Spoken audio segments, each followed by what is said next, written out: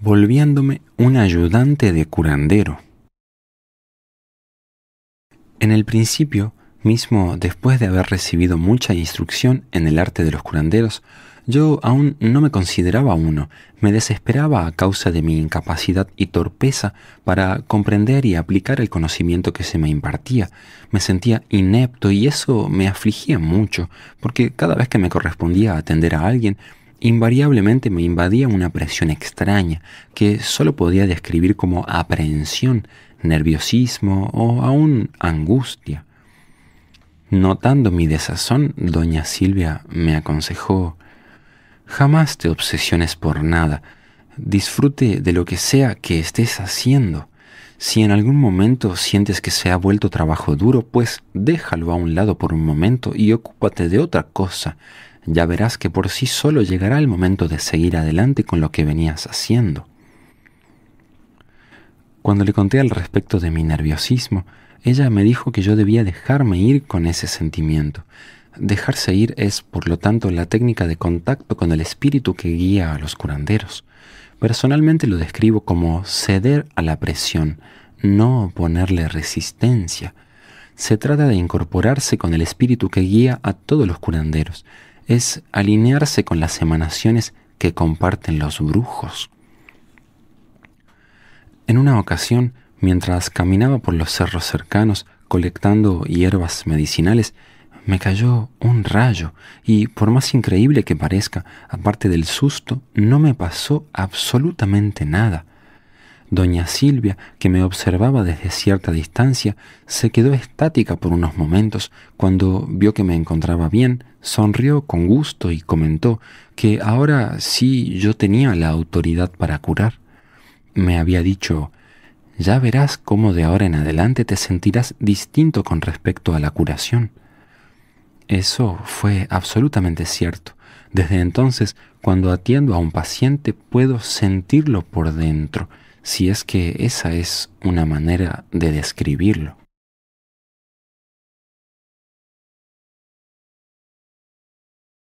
Desde el principio de mi estancia entre ellos, noté cómo les gustaban los acertijos, se divertían lanzando desafíos para que los demás los resolvieran. En una ocasión uno de los asistentes planteó, ¿qué es lo que sigue caminando aún después de muerto? Es el zapato, contestó doña Silvia. Luego nos retó con uno. ¿Qué es lo que tiene piernas pero no camina? Sin embargo, se mueve, preguntó ella con un aire de desafío. En conjunto con las adivinanzas, venía las pláticas de enseñanza de alguna materia concerniente a la curación o de algún otro tópico del aprendizaje. En esa ocasión, ella habló del mal que se denomina elefantiasis, de cómo puede ser tratado exitosamente a través de la ingestión de ciertos tés, así como la aplicación de baños y masajes terapéuticos con ungüentos oleaginosos. Al terminar, se faja la pierna con un combinado de plastas vegetales. El verdadero problema de esa enfermedad es la circulación de la sangre. Para sanar hay que tomar mucho té y mucha agua. Al final de la reunión, como nadie dio con la respuesta correcta a su adivinanza, sonriendo ella dijo, Es la silla, babosos, tiene cuatro piernas pero no camina y por cierto se mueve cada vez que la usas. En una plática posterior pregunté a ella sobre la utilidad de los acertijos y me respondió, todo en la vida es un acertijo, de hecho todo el universo es un acertijo que está ahí para ser resuelto. Dijo aún que los acertijos eran la forma como los antiguos lidiaban con el mundo. ¿Sabías que hay un acertijo personal para cada curandero? Que tú tienes el tuyo propio y que también hay uno para el grupo e incluso para nuestro linaje. Yo no sabía nada de eso. De inmediato me entró la curiosidad. Lo que yo creía era un juego sin consecuencias se mostraba como algo infinitamente más complejo. Quise saber sobre mi propio acertijo personal. Ella dijo que eso era algo que yo tendría que averiguar por mí mismo. Le pregunté entonces por el acertijo que se refería a nosotros como grupo y me propuso el guajalote revuelve la tierra en busca de su alimento. El campesino hiere la tierra y en su herida deposita la semilla. ¿Cuántas veces hay que revolver la tierra? ¿Cuántas semillas son necesarias para formar una milpa? No tenía idea de qué significaban esas palabras, así que le pregunté por la respuesta. Ella riéndose dijo que de eso se trataba la adivinanza, que yo debería descubrirlo por mí mismo. Después de un rato de silencio, ella preguntó si no me interesaba el acertijo de nuestra línea de curanderos videntes. Claro que me interesa, le respondí, haciéndome súbitamente consciente de mi lentitud.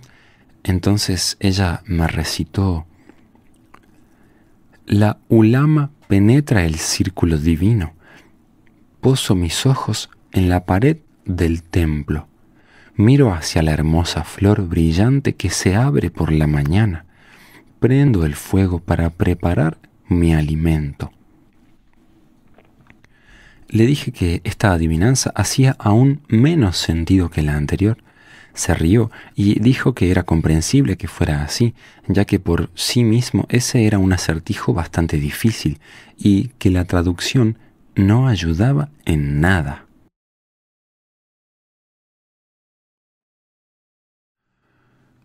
Los votos del curandero.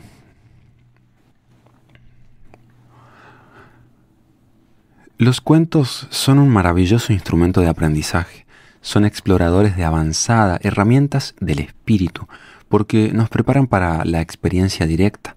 De cierta forma son como la cuña y la palanca que van abriendo paso a través de nuestra conciencia, ensanchando la percepción del mundo. Para poder actuar a nivel energético se requiere de fe dinámica en un principio, similar a la que demuestra un campesino que planta la semilla y tiene la esperanza de verla germinar. Ese tipo especial de fe obliga a uno a afinarse para poder percibir directamente la energía que empieza a utilizar. San Agustín afirmaba que la fe y el entendimiento son complementarios en vez de ser opuestos. Según él, uno debe creer para comprender y comprender para creer. Ese es el mismo tipo de confianza que demuestra un niño en el viento que sopla y ayuda a volar su cometa. El asunto de que éste vaya a seguir soplando o no está fuera de su control. Sin embargo, de alguna manera mantiene la expectación de que así sea, al igual que la fe dinámica, eso es algo que está en los dominios del espíritu. Lo único que se requiere de nosotros es hacer nuestra parte y confiar en que los resultados se darán. Como por ejemplo en el usual pase de sensibilización energética, lo que algunos describen como magnetización se empieza con movimientos rápidos de las manos que se mueven de la cabeza hasta los pies del paciente, siempre en dirección de arriba a abajo. Después de una docena o más de esos pases, entonces se puede empezar el tratamiento que va a emplear en ese paciente, ya sea una receta de té, un masaje muscular, un estiramiento o algún otro procedimiento. Somos seres de energía, Considerarnos de cualquier otra forma es ir en contra de la misma ciencia moderna que ya ha dado sus primeros pasos en dirección de reconocer que somos algo más que una cruda materia orgánica animada. Actualmente a través de aparatos especiales se han logrado incluso fotografiar aspectos de las emociones humanas, que por cierto se revelan en las fotos como una gama de colores.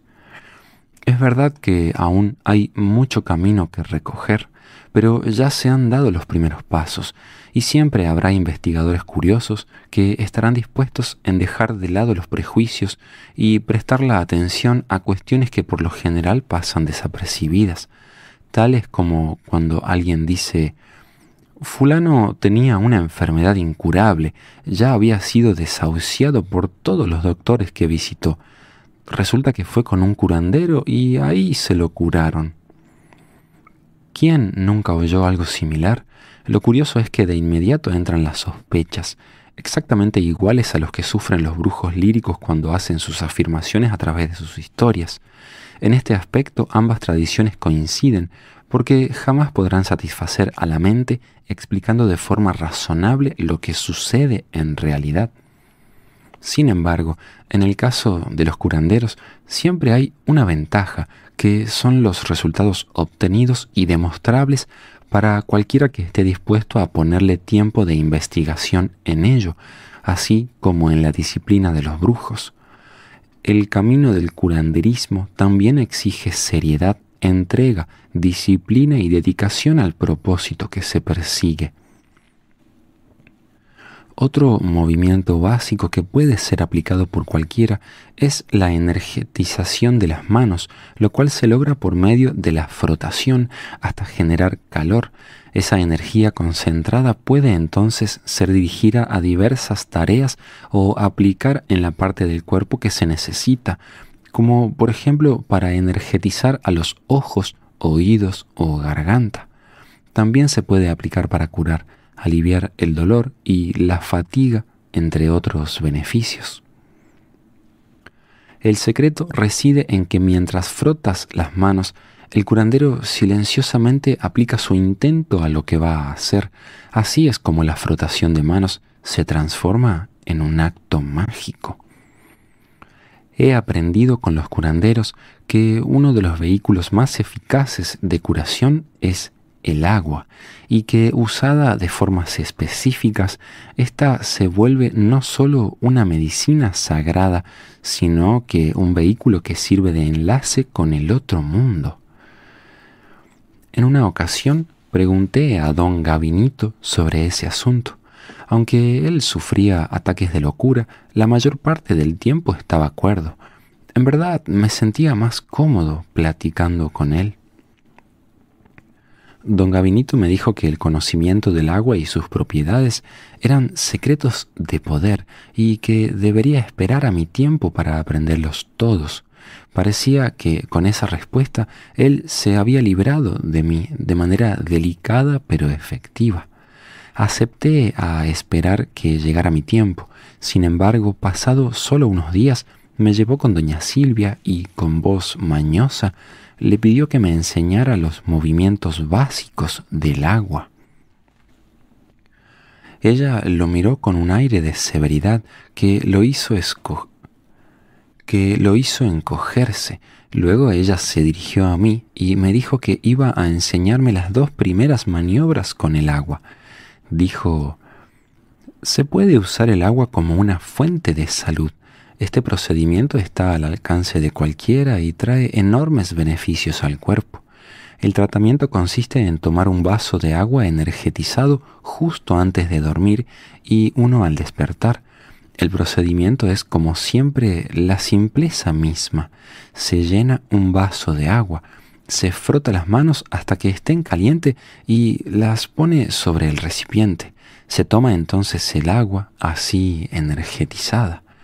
Es opcional añadir algún comando mientras se energiza el agua, tal como infundo a esta agua vibraciones curativas para tal o cual dolencia o para ayudar a alcanzar este o aquel objetivo en particular.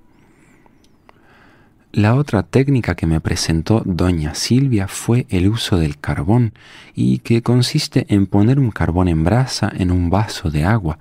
Se lo da de beber al paciente. Esa era, decía ella, una medicina milagrosa. Curaba de todo. Al principio creí que ella jugaba conmigo, pero más adelante comprendí que si uno usa el intento todo era posible y lo que los curanderos ofrecen al paciente es en verdad una oportunidad de agarrarse a algo para curarse.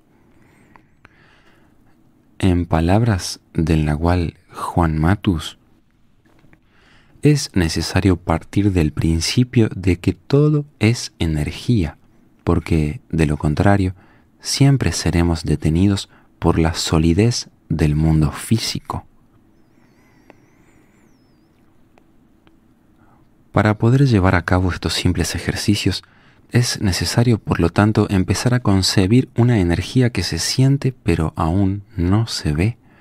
Este primer paso es muy importante dentro del esquema general de aceptación y percepción de la energía, y ahí es exactamente donde se hace presente la cuña y la palanca.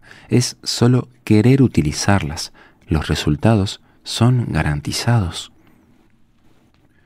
El interesado debe darse a sí mismo la oportunidad de asociarse con las ideas de los brujos curanderos, a través de exponerse a sus historias y tratamientos curativos. Debe empezar con la premisa de que está enfermo y necesita curarse y para eso debe demostrar que está dispuesto a dedicar tiempo y recurso a favor de buscar la sanación. En principio, atenderse es lo más importante a ser hecho. La salud es lo primero, cuando el cuerpo físico ya sea una unidad funcional perfecta, viene lo demás. El mejor remedio es prevenir la enfermedad, por ello, lo primero es organizar nuestra vida, aprendiendo a ser limpios por adentro y por fuera. Sé por experiencia propia lo útil y bueno que es todo esto, puesto que el practicante no solo se curará de problemas físicos existentes, sino que incluso aprenderá a prevenir padecimientos futuros que quizás ya estaban programados por su carga genética. Al empezar los experimentos donde emplean los métodos de los brujos, en un principio, el aprendiz puede sentirse cohibido, así como cuando uno trata de platicar con las plantas. Si logra vencer este sentimiento y sigue adelante con el experimento, luego desarrollará una confianza insólita en sí mismo que lo ayudará en las siguientes etapas del camino. Lo que se espera de un prospecto de curandero es que su voluntad sea honesta. Algunos se refieren a ello como la caridad o amor al prójimo. Aunque incorrecta, esa afirmación sirve para describir la empatía de los curanderos hacia el sufrimiento ajeno. También cabe decir que muchos son los que tienen torcida la voluntad. Estos jamás podrán ser curanderos. La caridad es algo que se tiene o no se tiene, desde luego uno puede fingir que es caritativo, pero eso no es lo mismo, porque lo que vale aquí es una sensación difícil de explicar, que sirve de enlace con el espíritu. Sin embargo, finalmente, hasta el propio egoísmo puede ser usado con éxito para aplicar las técnicas de curación sobre uno mismo, con excelentes resultados. La disposición es el segundo requerimiento del Código de los Curanderos y se refiere al deseo, tiempo y dedicación que esté uno dispuesto a prestarle al camino. Aquellos que entran por determinación propia a esta senda tienen un gran desafío por delante, que es mantener prendida la llama del intento. Lo mismo ocurre para los elegidos, pero se sabe que este es un trabajo mucho más fácil para estos últimos. La práctica es el tercer mandamiento del código para aprender a curar. Obviamente en ella está contenida de forma implícita el estudio y preparación que se lleva a cabo con el auxilio del maestro curandero, que no es un maestro común, que tiene a uno sentado mirándolo mientras parlotea durante horas, sino que es un ejemplo vivo a seguir, ya que enseña en la práctica mientras trabaja. Ser un ayudante, que es como ellos llaman a los aprendices, es un honor y una de las mayores fortunas que me ha tocado en la vida. La práctica del curanderismo me abrió un mundo de posibilidades que antes ni siquiera imaginaba que existiera. Los curanderos usan muy seguido el refrán bíblico que dice, muchos son llamados, pero pocos son los escogidos. Eso es así porque están siempre abiertos y dispuestos a ayudar a cualquiera que lo necesite y que cruce por su camino. Lo hacen como un gesto al espíritu, pues saben que cada ser es un reflejo de la fuerza creadora, y para ellos ayudar es lo mínimo impecable que se puede hacer.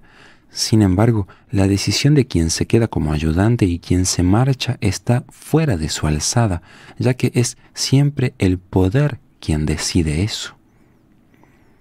Existen linajes de brujos que no se inmiscuyen, aun cuando se depare con un semejante muriendo, no hacen absolutamente nada. Los curanderos no son así. Para ellos la vida es preciosa y debe ser preservada. Tomar los votos de la curación es en esencia muy parecido con los votos de pobreza que asumen algunas cofradías, aunque no es lo mismo, ya que una persona rica también podría ser un curandero si lo quisiera. Sin embargo, es muy difícil que un rico deje su ambición por ayudar al próximo. Esto no significa tampoco que los curanderos sean unos limosneros con la cabeza rapada, muy por el muy por el contrario, son trabajadores que se desempeñan en diversas profesiones en el mundo cotidiano y que cuando lo buscan para una curación atienden a sus pacientes con toda presteza, buena voluntad y sin cobrar nada. Uno no debe cobrarle a un viejo cansado y sediento que toca a la puerta y solicita un vaso de agua. Hacerlo es indigno del espíritu del hombre. Lo mismo pasa con el poder de curación que uno recibe como un don y no debe ser explotado para beneficios personales. Así que el cuarto mandamiento del código es que jamás se debe cobrar nada por las consultas. De hacerlo, el curandero se vuelve maldito y estará a un solo paso de volverse un brujo negro. Aquellos que hacen de la caridad un negocio habrán de arrepentirse porque tanto la cura de un enfermo como la iluminación del espíritu ajeno no podrá jamás servir a la comercialización. Quien lo haga será maldito para siempre y perderá los dones que en algún momento haya adquirido, quedando tan solo el engaño.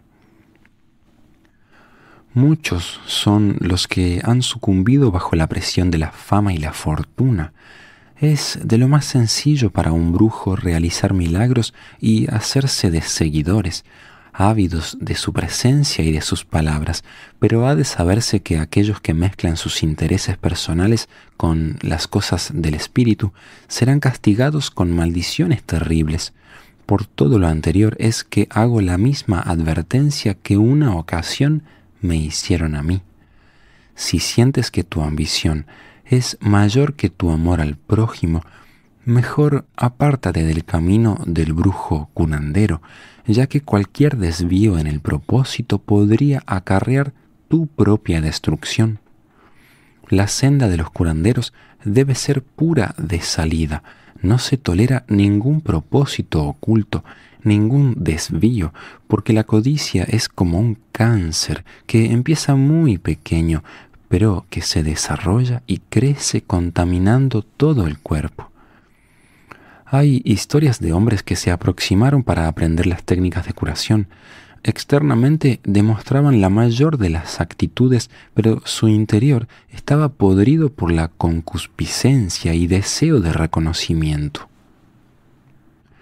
Uno de estos casos es un relato que oí sobre un tal Galindo Ornella, quien durante años siguió fielmente los pasos requeridos para tornarse un curandero. Cuando sintió que ya tenía lo suficiente, se transformó en un mercachifle de la curación. Incluso abrió una clínica en su pueblo donde recibía dinero y favores de los residentes, hasta que un día él fue abatido por una enfermedad misteriosa el curandero no pudo curarse a sí mismo. Uno puede ser castigado con muchas desgracias, mala fortuna, enfermedades y hasta mismo con la muerte por romper los sagrados votos de los curanderos. Pero nada de eso es realmente lo malo. Lo peor de todo siempre está por venir, como dicen los ancianos. Ellos cuentan que al desencarnar, el curandero corrupto entra en un vórtice del cual jamás saldrá. Ese es su castigo, esa es su punición por tratar de usar los poderes superiores para su provecho personal. Por lo tanto, cada prospecto de aprendiz es recurrentemente advertido de los peligros que se exponen al hacer el juramento como curandero. Así que cualquiera que reciba estas palabras y tome la decisión de aplicarlas,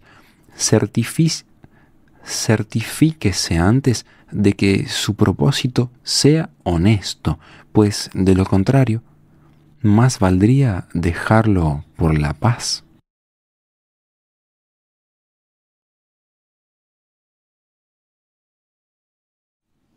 Una visión distinta del mundo.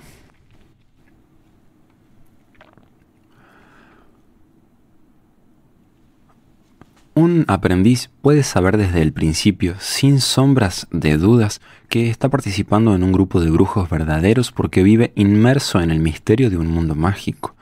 Todo el tiempo está en contacto directo con el poder y la magia. El mundo se vuelve para él algo maravilloso, indescriptible, fantástico. Aún a los más obstinados en cierto punto se les hace evidente de que ahí hay algo fuera de lo común.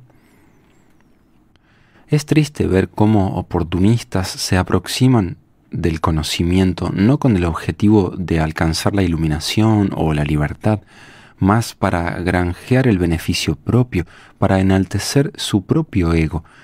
Pero lo peor de todo es que el fraude desalienta a buscadores honestos, que se quedan desilusionados de la búsqueda, por eso se puede decir sin miedo a errar que los charlatanes son un efectivo filtro para librarse de aquellos que no tienen un propósito inflexible hacia la libertad, separando de esa forma la cizaña del trigo, o sea, los que siguen adelante en la búsqueda de aquellos que se estancan a nivel de intelecto.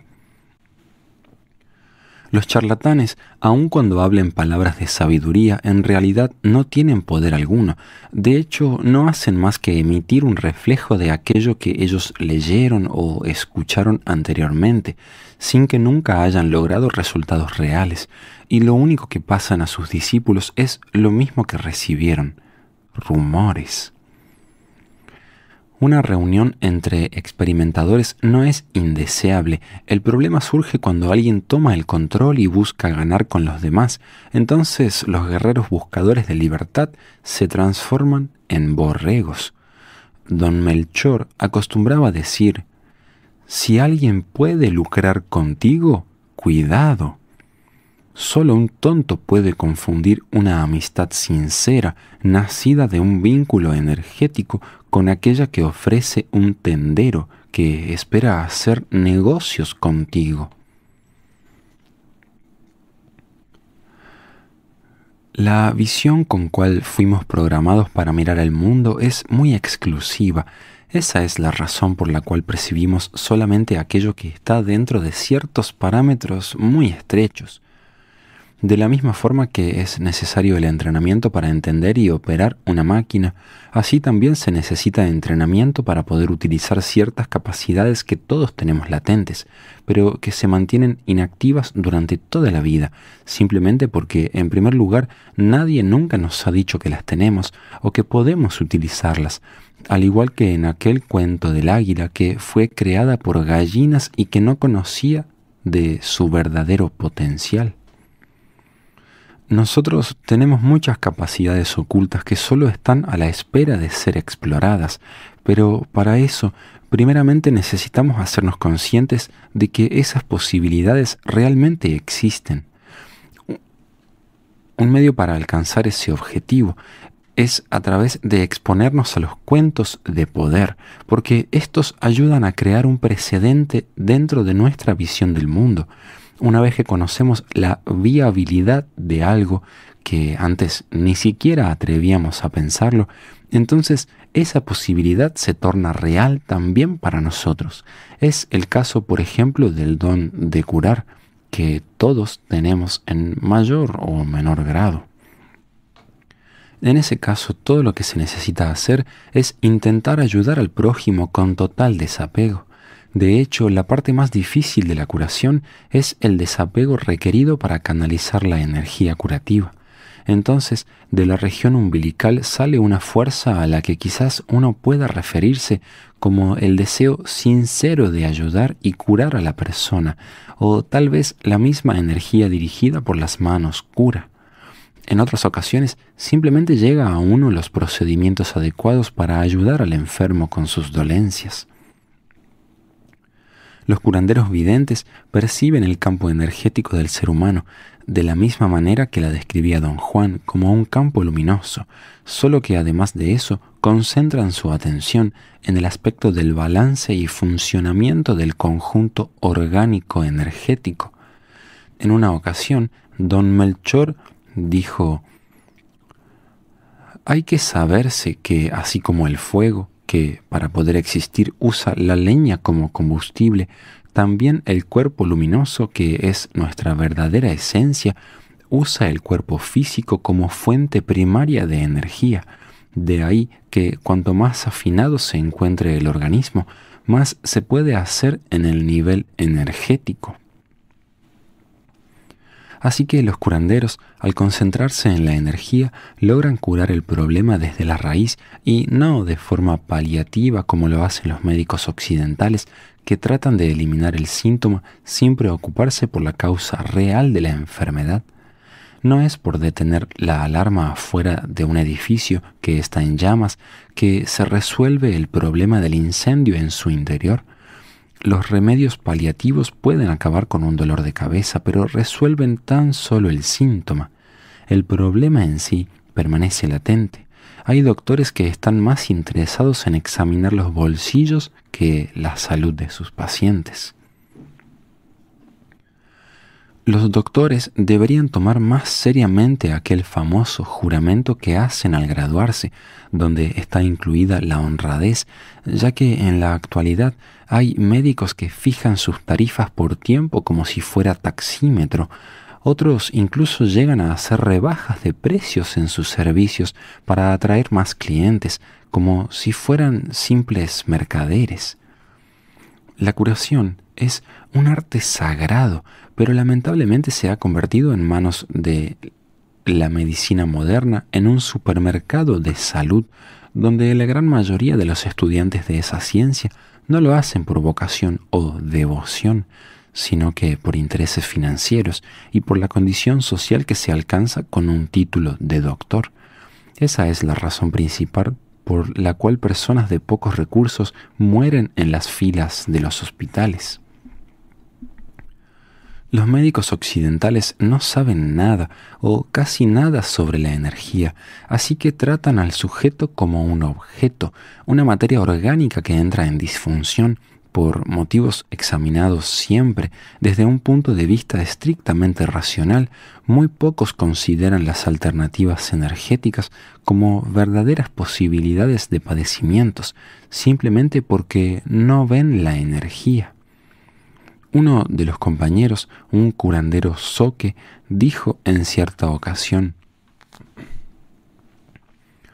Cuando por primera vez supimos que los orientales utilizaban la acupuntura como técnica de sanación, nos llenó de gusto y adoptamos de inmediato las agujitas. Nuestros ancestros utilizaban espinas de maguey para realizar esa práctica que es muy buena, pero hay que ser cuidadosos porque hay muchos por ahí que, aun sin ser curanderos, aplican las agujas. A veces le atinan, pero la mayoría fallan porque no ven y no pueden precisar el lugar correcto de la colocación.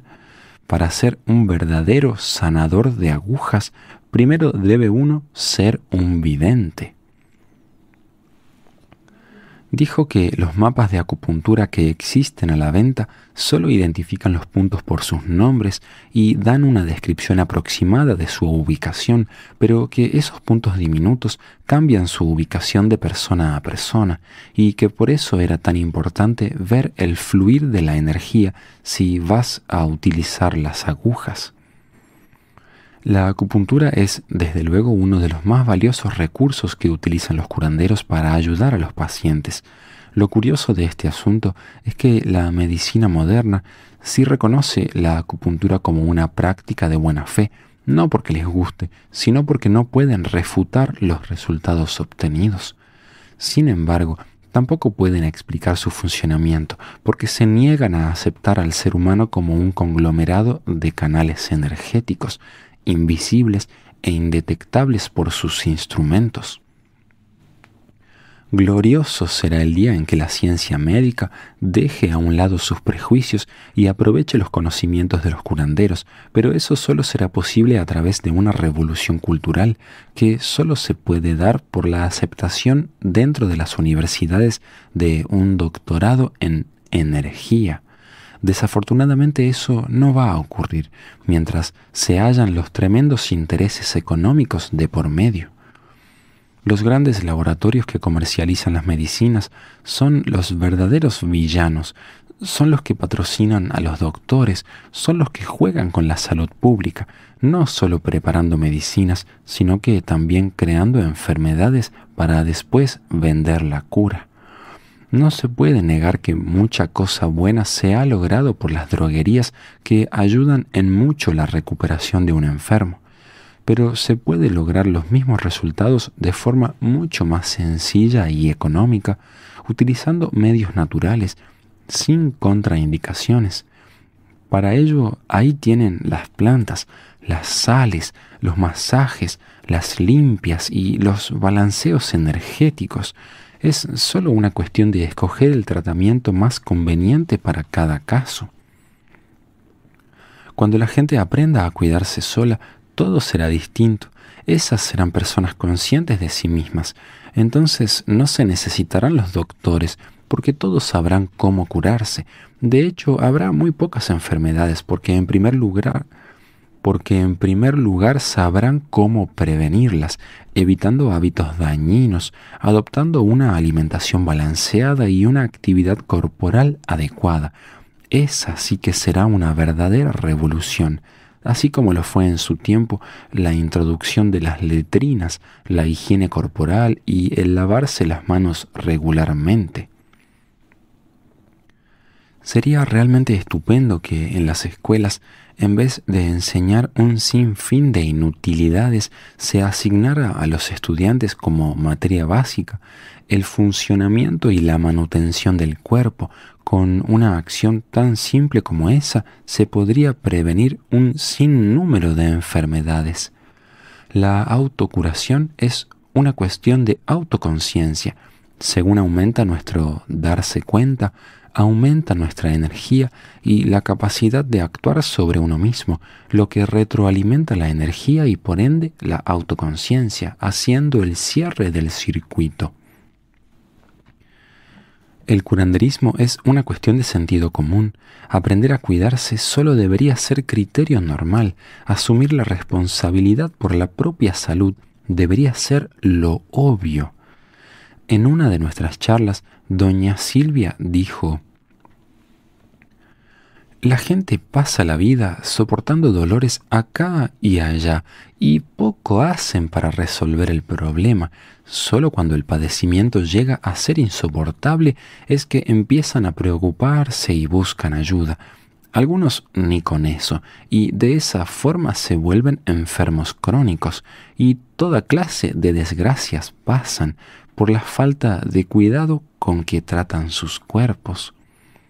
La disculpa que por lo común la gente aduce por tamaños descuidos es que el precio de las consultas y de los medicamentos son muy caros. A estos les digo que existe una gran variedad de medicinas alternativas que son de gran beneficio. Algunas salen prácticamente regaladas, ya que son procedimientos que se pueden aplicar a cualquiera, al adoptar medidas correctivas se logra detener y hasta revertir una enfermedad. ¿Cuáles son esas medidas correctivas? Eso depende de cuál sea la disfunción. La razón por que los ayudantes son entrenados en la práctica es para prepararlos a fin de que sean capaces de diagnosticar acertadamente cualquier clase de enfermedad, ya sean de conducto nervioso, vascular, óseo, digestivo o de actividad de los órganos en general.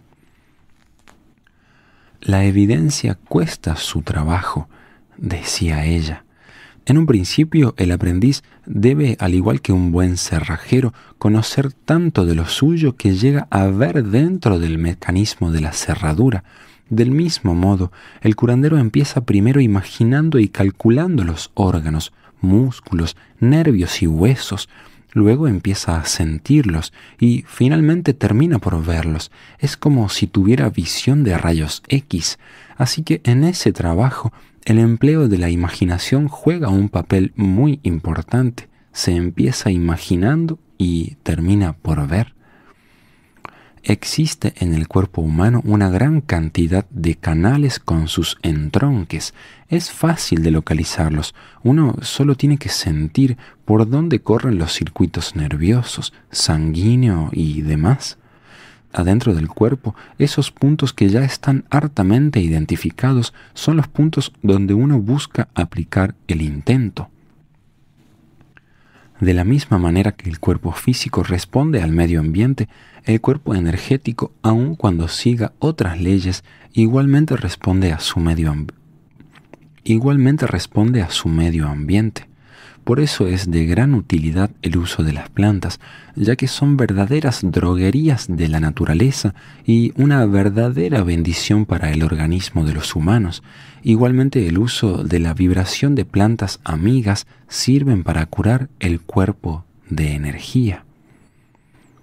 ¿Cómo se cura el cuerpo energético? Pregunté. A través de limpias. ¿Qué crees que estamos haciendo cuando pasamos hierbas en el cuerpo de los enfermos? Esa es la forma. Usamos las vibraciones de las plantas para curar el aura. Es es fácil de constatar que ella tenía razón en todo lo que decía, desde que obviamente cada planta tiene sus propios elementos activos. Sin embargo, no es mi intención hacer de este trabajo un compendio de curación. Para los interesados en la materia, existen en las bibliotecas mucha información sobre la utilización de plantas y otras técnicas alternas de curación.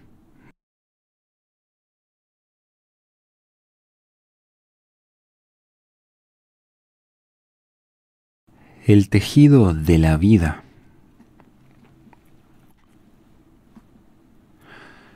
Cierta mañana pasé a saludar a doña Silvia. La encontré bajo la ramada. Estaba entretenida tejiendo. Utilicé el paso de poder para aproximarme con todo sigilo. Tenía la intención de observarla mientras trabajaba. Sin volverse, me preguntó ¿Qué buscas, Pepito? Me sobresalté por sus palabras. Estaba seguro de que ella no podía haberme visto ni oído mis pasos. Le dije con desconcierto que creía que ella no me había visto. Respondió que de hecho no lo había hecho, pero que su cuerpo energético sintió mi aproximación. Me dijo que ella usaba su telar como una catapulta al otro mundo, que mientras tejía paraba de platicar consigo misma, de forma que percibía todo desde el otro mundo. Dijo que por esa razón me vio llegando aun cuando me daba la espalda. Me invitó a que me aproximara. Explicó que estaba trabajando en su tejido. Mientras platicábamos, llegó de visita doña Genoveva, una curandera, amiga suya del otro pueblo. En medio la plática, doña Silvia comentó a doña Genoveva que yo también sabía tejer. Riéndose pidió que le contara lo que me había sucedido con relación al asunto de tejer. Se refería a una de las más aterradoras experiencias que me hubiera pasado jamás. De inmediato recordé que una de las primeras cosas que me enseñó doña Silvia cuando yo aún estaba enfermo fue a tejer pasé horas infinitas tejiendo mi atención. Así era como ella me presentó la tarea de tejer, un medio para consolidar mi atención. Ella misma me ayudó a confeccionar un cinturón curativo y mi banda de ensueño. Bajo su supervisión, confeccioné también un morral para guardar objetos de poder y otros atuendos. Los sucesos que doña Silvia quería que yo relatase se dieron cuando en una ocasión salí a caminar solo. Me sentía trastornado por lo abrumador de las tareas, de forma que un día simplemente abandoné todo y salí a caminar sin rumbo ni destino fijo. Pasaron varios días hasta que llegué a las afueras de un pueblito sin nombre perdido en medio de las montañas. Ocurrió que en ese lugar encontré a una señora tejiendo enfrente a su choza. Por allá las viejas todavía tejen con un telar de mano de nueve palos. Me sentí atraído por su trabajo y me aproximé a platicar con ella aun cuando algo me decía que no debería hacerlo. Acercándome, le pedí que me perdonara por interrumpirla. Comenté que mi intromisión se debía a que me fascinaba ver cómo funcionaba un telar de los antiguos. Muy amable, me invitó a que me aproximara. Me explicó que estaba tejiendo una manta muy especial, ella era una mujer campesina, de poca cultura, pero me dejó embelesado por la manera como explicaba su trabajo. Según ella, ese tejido se destinaba a ser una manta para atraer a los buenos sueños. Platiqué un buen rato con la mujer. Por la manera como se comportaba, no tardé en darme cuenta de que se trataba de una bruja. Aun cuando mi sistema de alarma estaba encendido, me quedé oyendo sus explicaciones.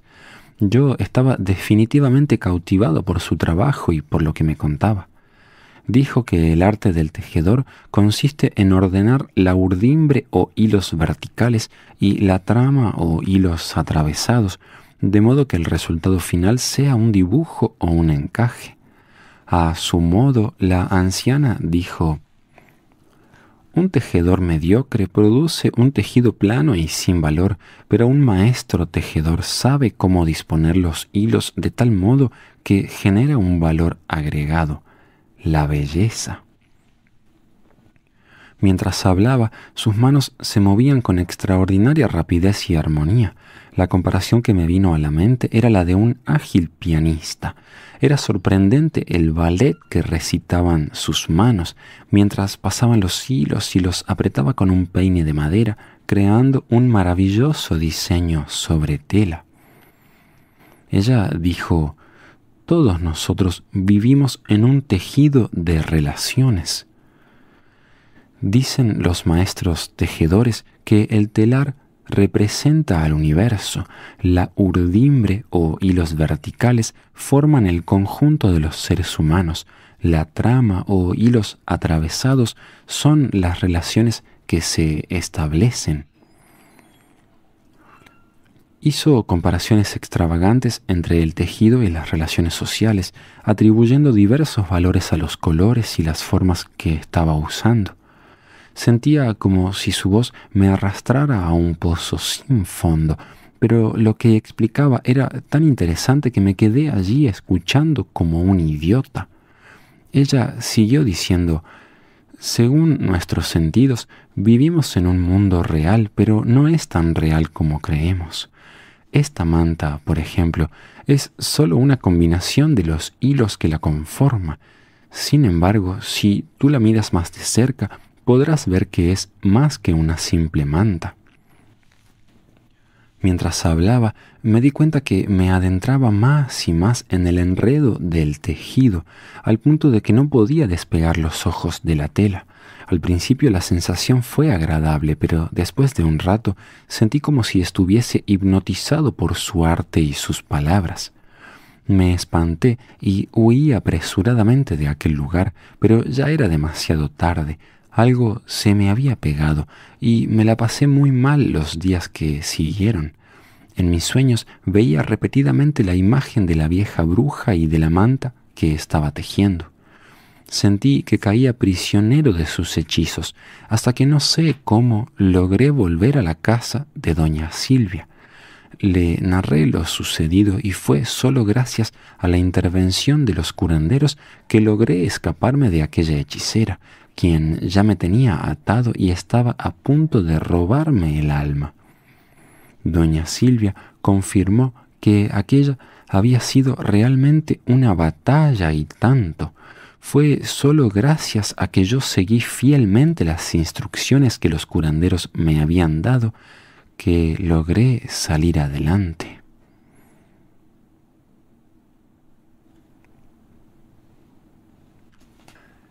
El tonalamatl.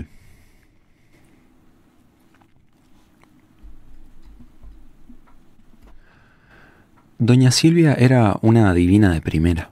Para hacer sus predicciones, ella consultaba los aros sagrados o la rueda del destino.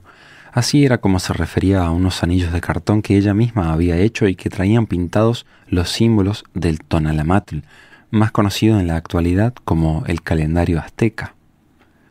Por medio de mover los anillos que se encajaban entre sí con la precisión del mecanismo de un reloj, ella predecía los augurios para las personas siempre comenzaba sus consultas con Así se manifiestan las voces de los dioses, así lo ha determinado la danza cósmica, Mamechigua.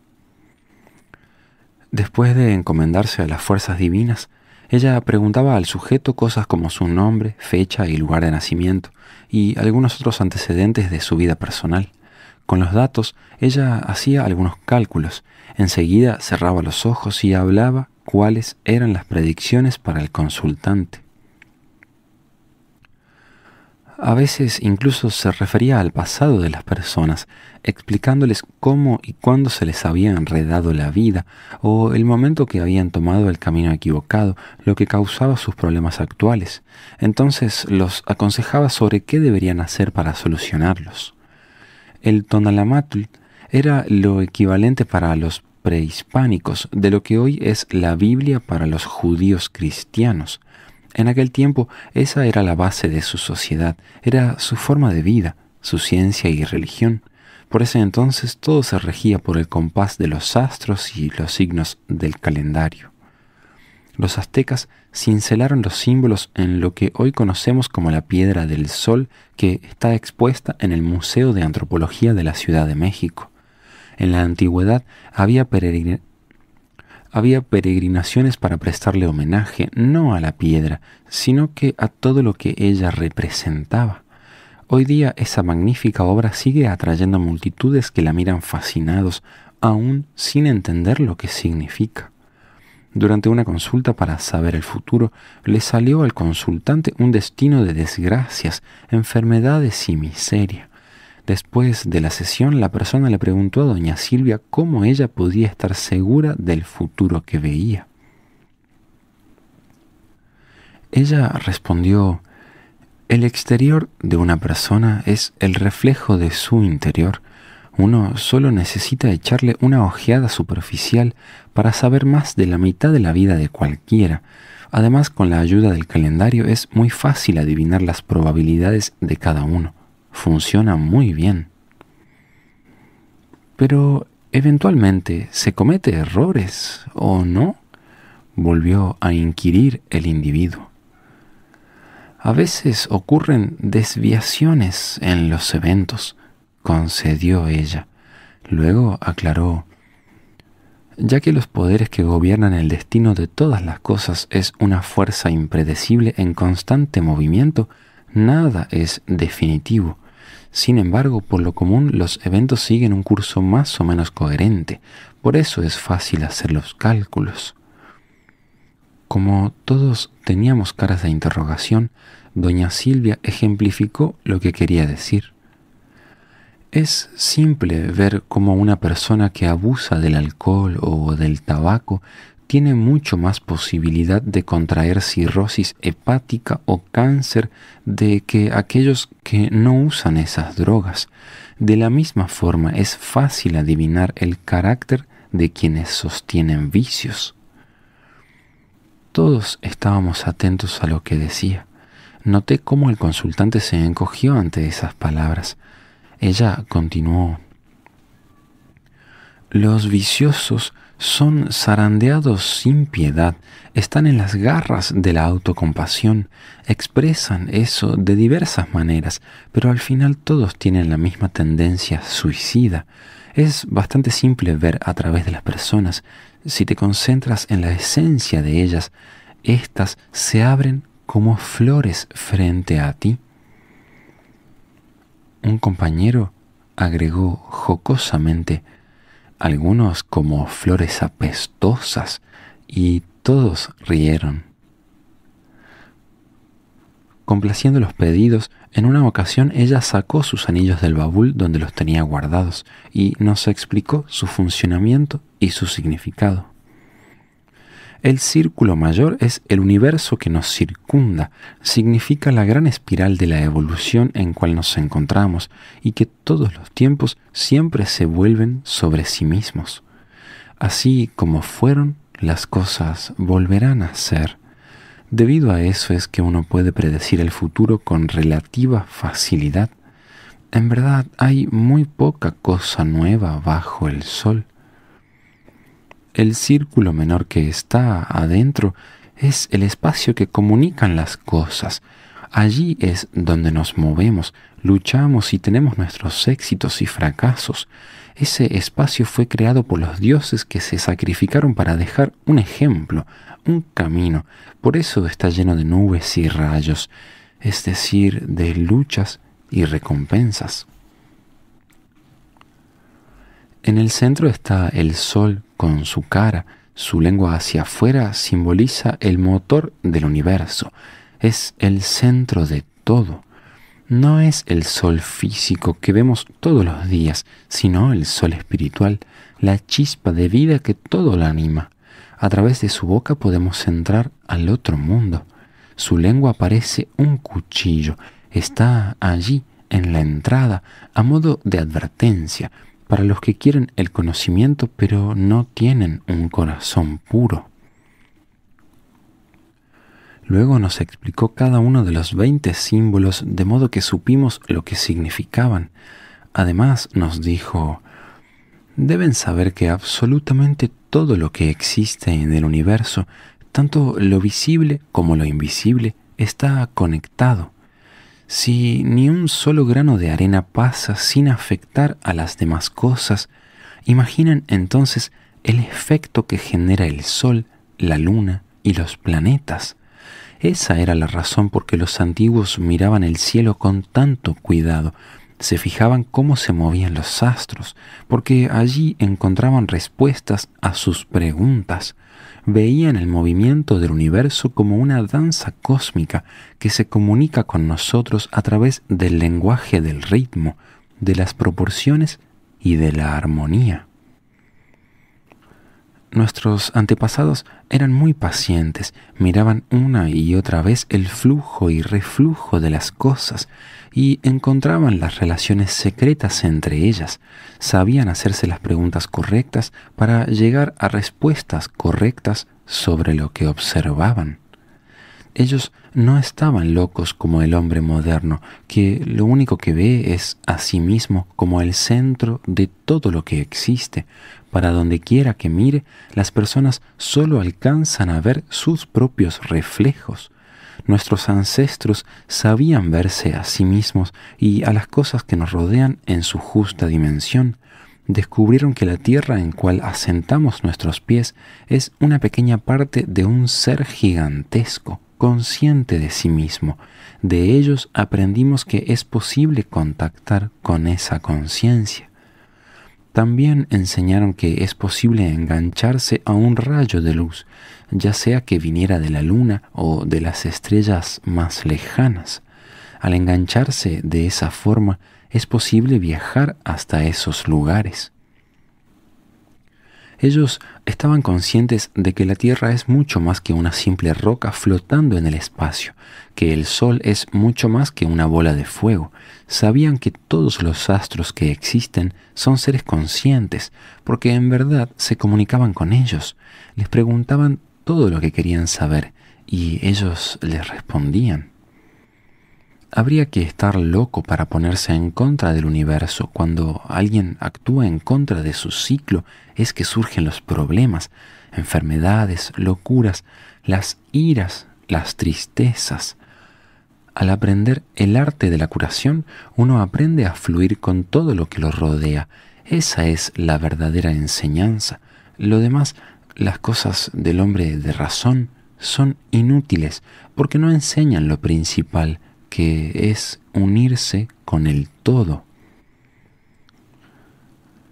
Nos explicó que la danza de los astros generan diferentes vibraciones, que cada uno de nosotros somos impresos con una determinada vibración al momento de nacer y que eso realmente influenciaba nuestras vidas.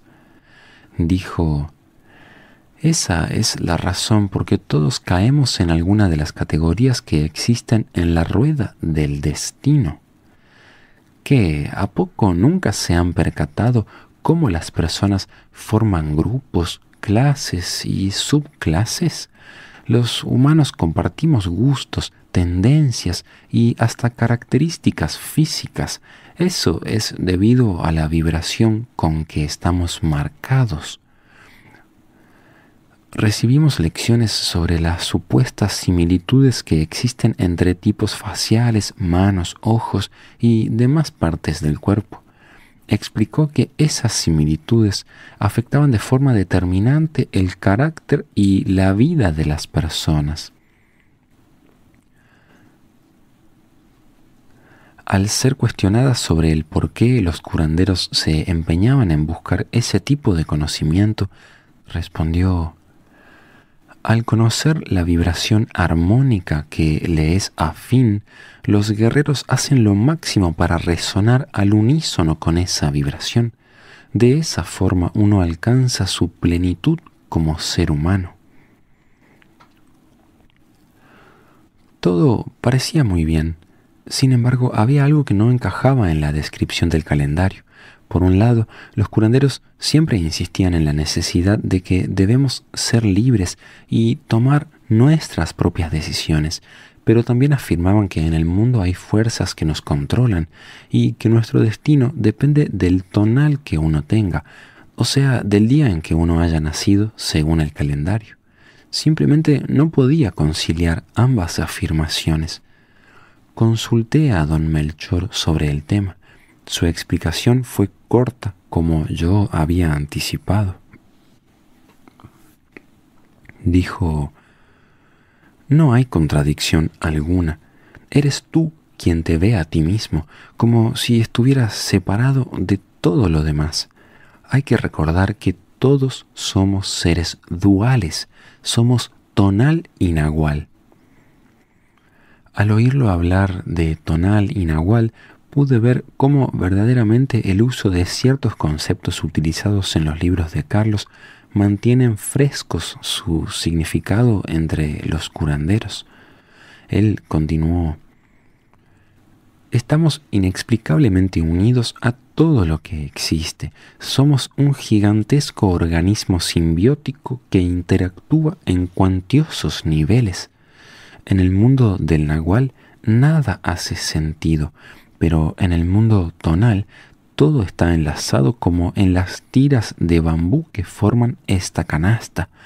Todo tiene que ver contigo y tú con todo, de modo que es inevitable que existan influencias favorables o desfavorables. Pude observar cómo verdaderamente las predicciones que hacía doña Silvia se cumplían una y otra vez, pero no como uno esperaría que fuera, sino que me daba la impresión que fuéramos llevados por un torbellino sin nombre y, gustemos o no, cada uno cumple con su destino.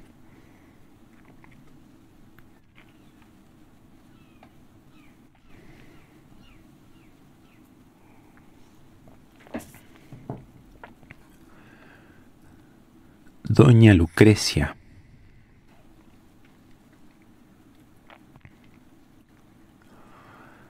Una noche llegó a visitarnos Doña Lucrecia. Ella era una de las curanderas del grupo que vivían en el otro pueblo. En medio de la plática ella empezó a contarnos sobre la guerra de los brujos y de cómo yo era un resultado de esta. De inmediato me entró la curiosidad.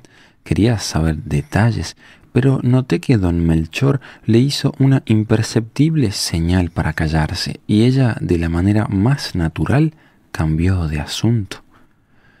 Doña Lucrecia tenía la apariencia de la clásica bruja, su cara era temible, aparte de ojos viscos, ella tenía una verruga en la nariz y le faltaban dientes. Los compañeros ya me habían advertido sobre ella, decían que estaba loca y que era muy excéntrica. Una de las rarezas que comentaban sobre ella es que acostumbraba a ir a cada velorio que había en su pueblo y que a veces iba incluso en los sepelios de las ciudades vecinas. Cuando le preguntamos por qué lo hacía, ella nos explicó que desde niña tenía la facultad de hablar con los muertos y que le gustaba más platicar con ellos cuando aún estaban frescos. Uno de los ayudantes le preguntó por qué ella se preocupaba por los muertos. ¿Y por qué no? respondió con un aire de amenaza en la voz. ¿Acaso los vivos son más importantes? Los desencarnados tienen grandes posibilidades de alargar la duración de la conciencia en el otro mundo, justo como nosotros. Desafortunadamente, las vivencias de la memoria los estorba, al igual que a nosotros nos estorba la ofuscación del mundo diario. Cuando se les dice de sus posibilidades, no hacen caso, se enredan en sus recuerdos y así se van consumiendo poco a poco hasta no quedar nada. He ayudado a cientos a encontrar el camino a la luz.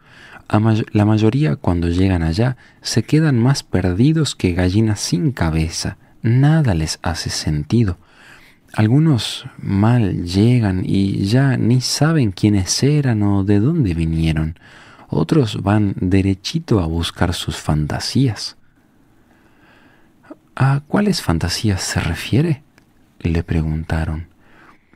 Ella respondió, cuando la gente muere a veces les es muy cuando la gente muere a veces les es muy difícil soltar el mundo de los vivos, siempre se van aferrados a las cosas.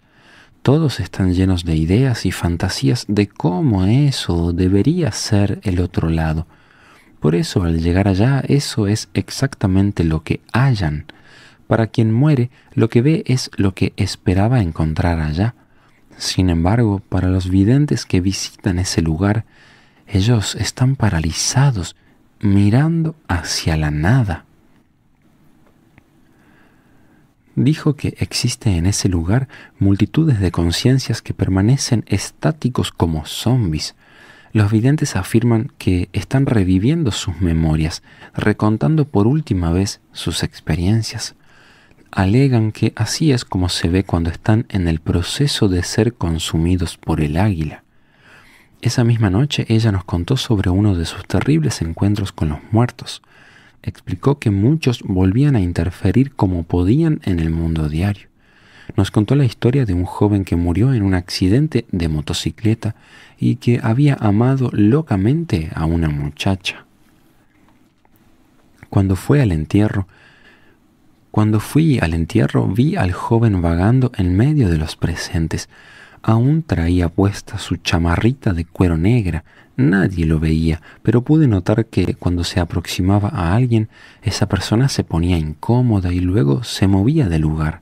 Durante un largo tiempo lo estuve observando.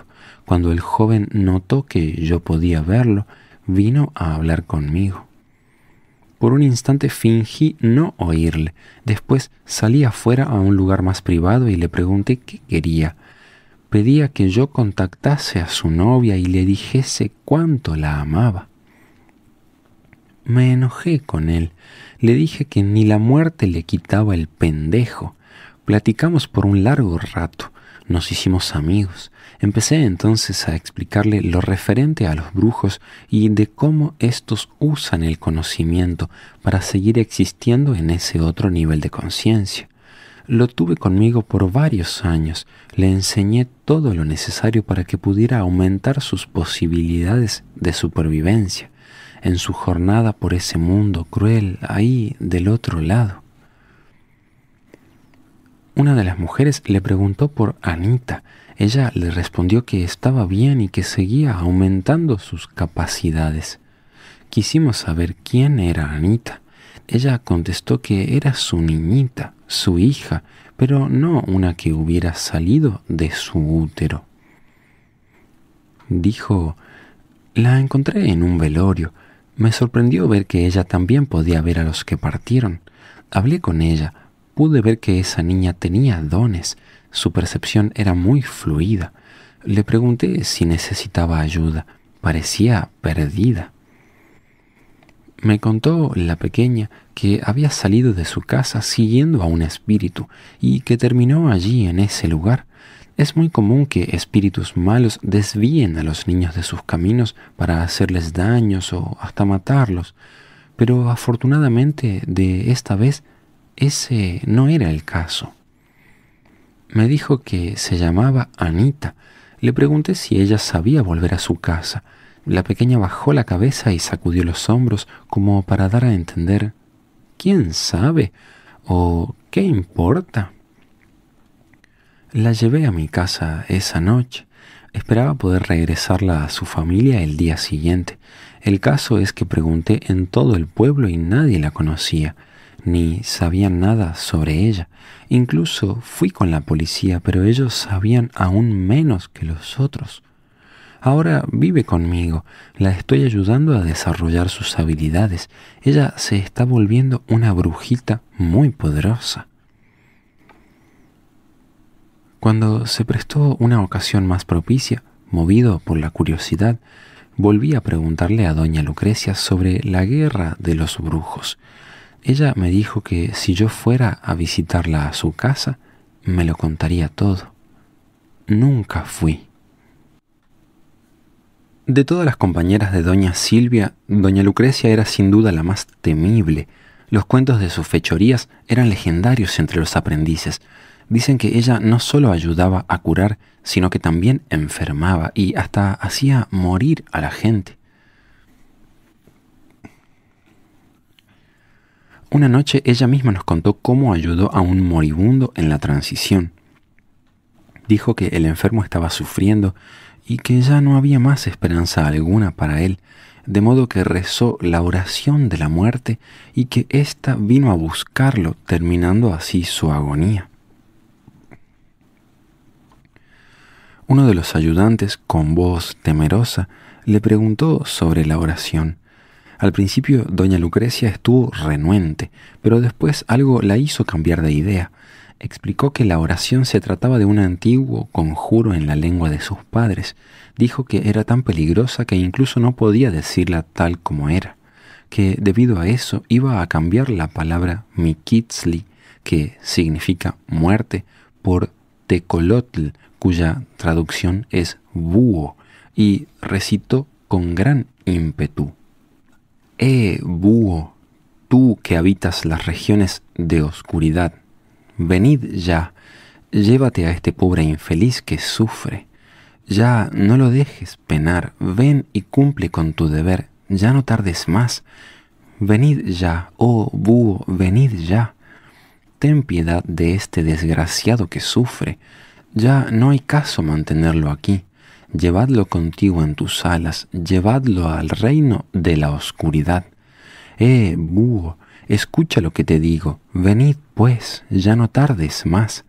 Escucha a esta que te llama. Oh, búho, soy la hija del sol y de la luna, soy la que habla a los dioses, soy anfitrión de los espíritus, soy yo quien te ordena que vengas y cumplas con tu encargo. Nos advirtió que esa oración era muy poderosa y que no solo se usaba para ayudar a algún desahuciado a morir, sino que con ciertas variaciones que no quiso revelar, servía también para despachar a los enemigos. Dijo en son de broma a uno de los compañeros que si él no cumplía con la promesa de ir a visitarla pronto, ella llamaría la muerte para él. Todos reímos nerviosamente. En otra charla, doña Lucrecia comentó, de la misma manera que en la parábola de las vírgenes que se prepararon para la llegada del Señor, así los curanderos se preparan para el mayor de todos los eventos, que es el encuentro que tenemos pendiente con nuestra muerte. Para tratar con la muerte uno tiene que alcanzar un estado extremo, más allá de la fijación a este mundo afirmó que la Santa Muerte era la única consejera que siempre nos diría la verdad y que todos podíamos percibirla si le poníamos atención. Dijo que incluso la gente normal podía sentirla de vez en cuando. Es común en los hospitales que los doctores sepan que una persona está a punto de estirar la pata cuando empieza a ver a sus parientes y amistades que ya se han ido. Eso es normal. La cercanía de la muerte rompe con la fijación y aún los menos preparados pueden percibir el otro mundo.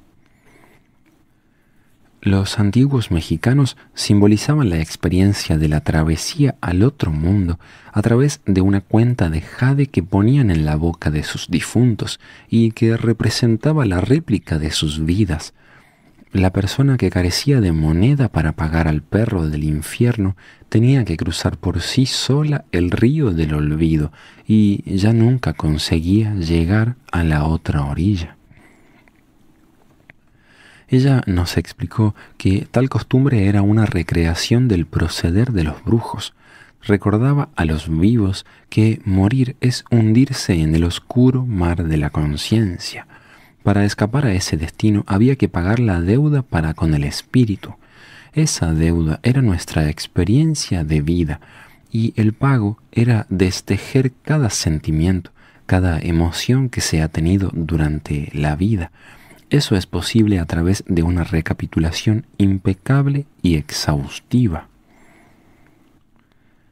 Dijo, en lugar de recordar a sus difuntos en el día establecido en la forma colectiva como lo hacen la gente, los brujos evocan el día en que ellos mismos se van a morir, ese día que es tan cierto como cualquier otro y es mucho más memorable que cualquier otra fecha que se pueda celebrar. Fluir con la muerte significa hacerse uno con ella, aprender a aceptarla de tal modo que se convierte en una amiga, de tal modo que cuando nos toque la caminata hacia el valle de las sombras, no habrá temor alguno en nosotros, porque sabremos cómo cruzar el río del olvido. Solo así se logra vencer a la muerte. Doña Lucrecia, sonriendo con malicia, nos miró con unos ojos diabólicos y nos dijo con una voz aterradora, Estoy aquí para llevarte. Todos reímos, ellos con total abandono y nosotros con total aprehensión.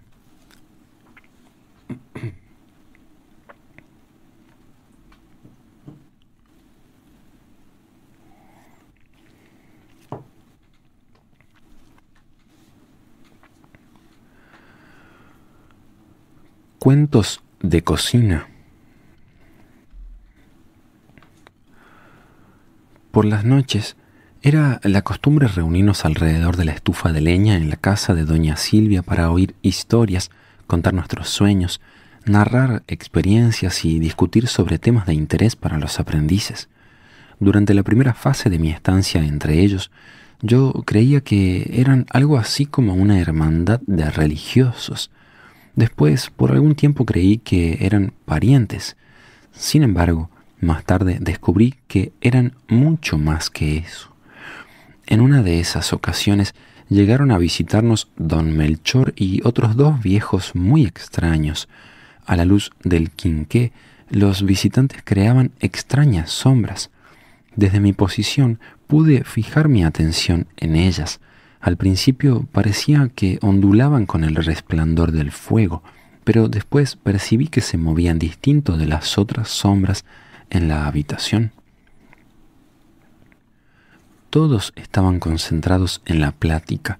Sentí como si al haberme percatado de lo distinto que eran, las sombras se abalanzaran de forma amenazadora sobre mí. Solté un tremendo grito que interrumpió la reunión. Los asistentes me rodearon y preguntaron qué me pasaba. Lentamente sentí como si volviera a mí. Me disculpé, les dije que andaba soñando despierto. Todos rieron. Después de la reunión, platiqué con algunos de los compañeros respecto a mi percepción. Resultó que yo había sido el único que vio a los dos viejos. Cuando cuestioné a don Melchor al respecto, él me respondió secamente que aquellos eran sus aliados. La primera vez que don Melchor me llevó a su casa en el estado de Veracruz, me sorprendió lo bien que estaba. De hecho, era una casa enorme, de muy buena calidad, que contrastaba totalmente con la que tenían en el estado de Morelos. Le pregunté sobre eso, y él malinterpretó mi indignación. Creyó que yo quería saber de dónde había sacado él el dinero para todo aquello. Entonces me contó una historia extraordinaria. Dijo que en cierta ocasión él había sido visitado por un ser inorgánico, un fantasma que le contó que mientras vivía había sido el peón de un rico hacendado y que cierto día su patrón lo llamó a él y a un compañero suyo para cargar un pesado baúl hasta un área muy apartada, cerca de una roca puntiaguda.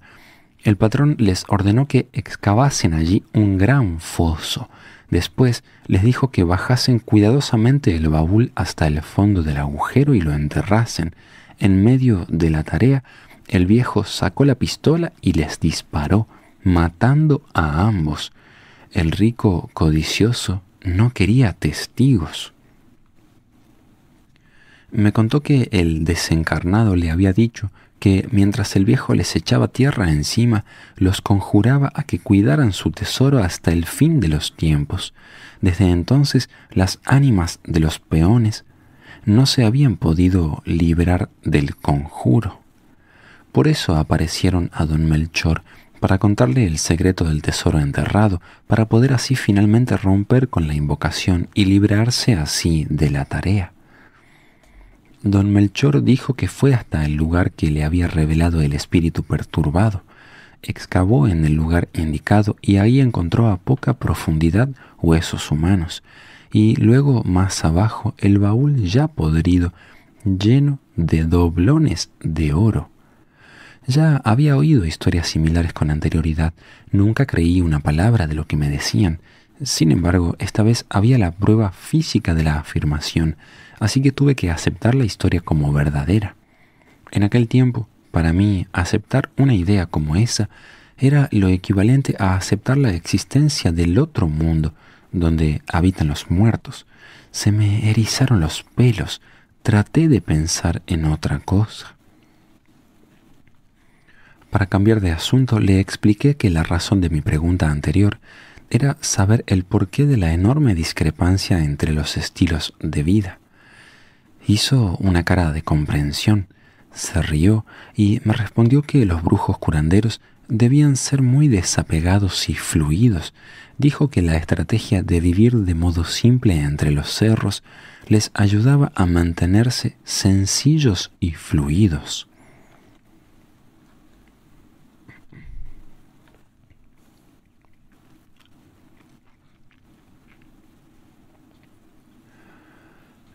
La humildad del rey.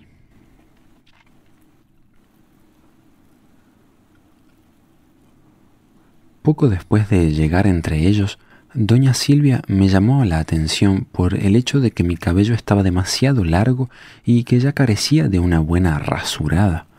Se ofreció para cortarme el pelo. La miré con un aire de desconfianza, pero con una cara de seriedad me explicó que era ella quien hacía la mayoría de los cortes a los compañeros. Yo tenía un gran cariño por mi cabellera. De hecho, eso era un importante factor de identidad para mí, de modo que para asegurarme le volví a preguntar si ella estaba segura de saber cómo hacer el trabajo. Con un tono de autosuficiencia, repuso que era una experta peluquera entonces, aunque con cierta aprensión, le permití que me cortara el pelo. Durante la rasurada, sentí un tijeretazo y vi cómo caía al suelo una gran cantidad de cabellos. Doña Silvia soltó un grito y me dijo que había cometido una inconcebible torpeza. Corrí por un espejo y me recordé de que no había ninguno en la casa, con desespero fui a mirarme en el retrovisor de la vieja camioneta descompuesta, que hacía a la vez de un gallinero improvisado. Al ver mi reflejo me percaté que ella había cortado un enorme mechón, dejando literalmente al descubierto el cuero cabelludo en la parte más visible del cráneo. Eso me molestó muchísimo, pero no me quedó más remedio que permitir que siguiera pelándome hasta que me dejó totalmente calvo. Para mí, andar por ahí pelón era como andar desnudo, al principio me sentí muy mal y antinatural conmigo mismo, pero después la lección hizo efecto y pude ver la banalidad de confiar el bienestar interno a la apariencia física. Por lo general, las historias que nos contaban tenían el propósito de que nosotros aprendiéramos cómo tratar las enfermedades, pero a veces nos relataban leyendas del folclore local que siempre tenían alguna moraleja sobre el camino del guerrero y la vida en general. Esa noche ella nos contó la historia sobre la pirámide que hay arriba del cerro y que es bien visible desde el pueblo. Explicó que la gente de antaño la había construido para honrar a un rey que gobernó aquellas tierras en tiempos pasados. En aquellos tiempos, el gobierno estaba en manos de videntes y sabios que servían de faros para el pueblo. No es como hoy en día que cualquier sinvergüenza agarra el poder, pero de eso platicaremos algún otro día. Adoptando el tradicional tono que usan los contadores de historias, nos dijo, cuentan que en otros tiempos Hubo una joven virgen que era tan hermosa por adentro como por afuera. Tenía los cabellos negros, lisos y muy largos. Sus ojos eran oscuros y brillantes.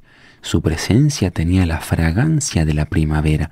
Los pajaritos le cantaban en coro y a su paso las flores se abrían y exhalaban sus perfumes. Vivía en una de esas cañadas, en aquella dirección. Al decir eso, señaló hacia la ventana que daba al sur. Se llamaba Chimali. Sucedió que en una ocasión la hermosa joven fue a buscar agua en el río que no estaba a mucha distancia del pueblo, pero ella tomó un atajo por en medio de las arboledas y allí se encontró con el espíritu del bosque. El espíritu elogiando su belleza y dulce mirada, le regaló una piedrita de obsidiana, diciendo que le traería buena suerte.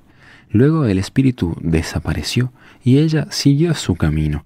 Después de llenar su cántaro con la cristalina agua, emprendió el camino de regreso a su casa. Ella había guardado el guijarro que le regaló el ente del bosque en la boca bajo su lengua, y sucedió que en un momento de descuido ella tragó la piedrita. Con el tiempo se percató que aquella era una piedrita encantada y que la había embarazado. Los sabios que gobernaban en ese pueblo vieron el aura de Chimali y comprendieron que ella decía la verdad y que su embarazo era producto del espíritu. Tomaron el asunto como una señal. En su debido tiempo, ella dio a luz a un hijo varón que llegó a ser el rey de su pueblo. Teposteco fue su nombre, y fue un rey tan sabio que su fama trascendió las fronteras, y venía gente de todas partes para oír sus palabras. Cuentan que en una ocasión el gran rey fue invitado a un banquete en la corte real de Tenoch Tenochtitlán, que se ubicaba en donde hoy es la actual Ciudad de México. Llegó vestido como de costumbre, con su taparrabo y sus humildes sandalias de cuero. Sucedió que no le permitieron entrar. Entonces él regresó a su casa y se vistió con finas ropas, joyas, oro y plumas preciosas y volvió a la fiesta. En esta ocasión sí le permitieron entrar y lo sentaron junto a los nobles. De pronto todos los presentes se espantaron cuando durante la comida el rey Teposteco empezó a embarrar los alimentos en sus ropas y adornos. Cuando le preguntaron por qué lo hacía, les respondió que él no había sido invitado al banquete, sino que sus ropas y joyas. Los demás se quedaron muy avergonzados.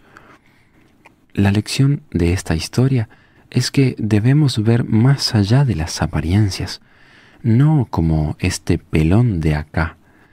Al decir eso me señaló que solo se importa con el aspecto superficial. El hombre moderno ha abandonado la sensatez a favor de la vanidad, se ha vuelto un títere de la moda, se comporta como un payaso, sin el más mínimo sentido del ridículo.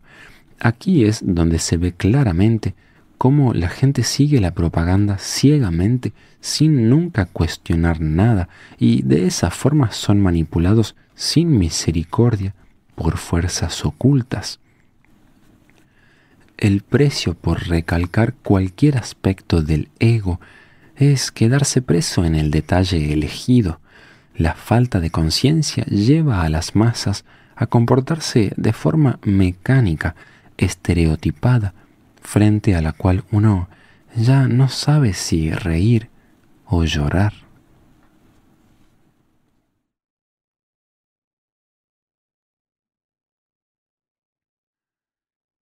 Historias de pacientes.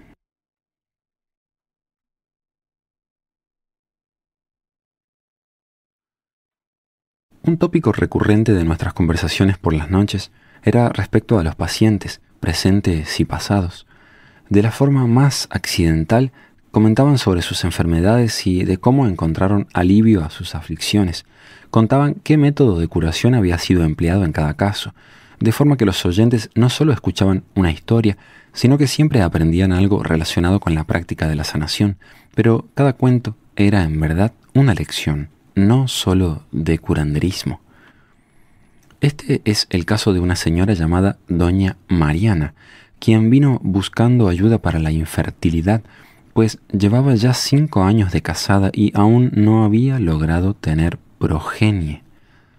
Después de un examen cuidadoso, se vino a saber que la mujer tenía los conductos del ovario casi cerrados a causa de un trauma psicológico que había sufrido cuando aún era una niña de apenas 10 años de edad, resultó ser que había sido violada por su propio padre. Los curanderos la sometieron a una profunda terapia de regresión del evento y aun cuando le costó muchas sesiones de trabajo para recordar plenamente lo ocurrido, doña Mariana al fin liberó sus sentimientos y recordó con todo detalle la desventura de la cual había sido víctima. Según ella, sucedió que en una ocasión su padre había llegado borracho. Cuando eso pasaba había terribles peleas en la casa, que por lo general terminaba en la agresión física en contra de su madre o de algún otro miembro de la familia contó que aquella noche desdichada, al ver su padre llegar ebrio, lo llevó a un cobertizo que había en el fondo de la casa donde vivían, con la esperanza de evitar las acostumbradas confrontaciones. Quería ponerlo a dormir allí y regresar a sus quehaceres en la cocina, pero su padre la forzó a que se quedara y que se acostara con él. En un principio no sabía qué le estaba haciendo.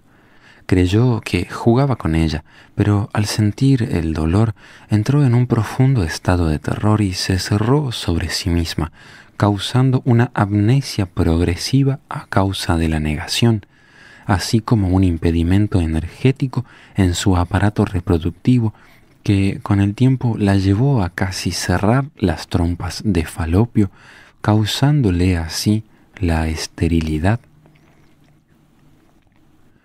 fue solo gracias a un extensivo trabajo de recapitulación aunada a la manipulación de su cuerpo físico por medio de masajes y test medicinales que se le pudo recuperar el ovario. Ahora tiene dos saludables hijos y es muy feliz. Como se ve claramente por este caso, la técnica de la recapitulación no solo sirve para los trabajos del guerrero, sino que puede ser de gran ayuda incluso para el hombre común. Llevar a cabo el trabajo de recapitular los eventos de la vida de uno tiene muchas ventajas que van desde mejorar la memoria y hacerse más consciente de sí mismo y de su entorno, hasta desentrañar los ataques energéticos sufridos y recuperar aquello que nos fue arrebatado. El abuso sexual en contra de los niños es de hecho el responsable de una gran cantidad de enfermedades y desviaciones psicológicas en la adultez y lo único que se puede hacer al respecto es luchar por elevar el nivel educativo de la población para que se hagan responsables de sus actos, para romper así una cadena que dura milenios, ya que un niño abusado seguramente se transformará en un adulto que abusa.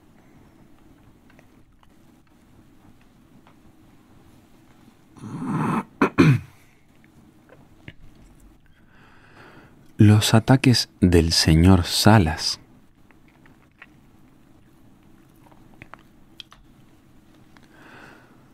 Otro caso muy interesante que tengo documentado en mis notas es el de un señor llamado Salas. El asunto es que este hombre sufría constantes ataques de miedo irracional. Los doctores le habían diagnosticado una profunda esquizofrenia, razón por la cual pasaba todo el tiempo bajo efecto de potentes drogas. Cuando sus parientes lo trajeron con doña Silvia, lo primero que ella hizo fue descontinuar el tratamiento de las pastillas. Se requirieron muchas sesiones tan solo para alcanzarlo, ya que una parte de él se negaba a abrirse a los tratamientos que consistían en el empleo de té y raíces. También a él se le sometió a una profunda terapia regresiva, en donde se supo que este sujeto había cometido varios crímenes en contra de la gente de su pueblo. Por eso, según él, era perseguido por los espíritus de aquellos a quien había matado, de tal modo que sufría de severas convulsiones y pérdida de la conciencia, a punto de ensuciarse con sus propios excrementos. Los doctores no sabían qué tenía el enfermo, razón por la cual lo atiborraban de pastillas psicotrópicas que no hacían más que mantenerlo en un estado en el cual parecía más un vegetal. Ella nos explicó que los curanderos videntes perciben el campo energético del ser humano.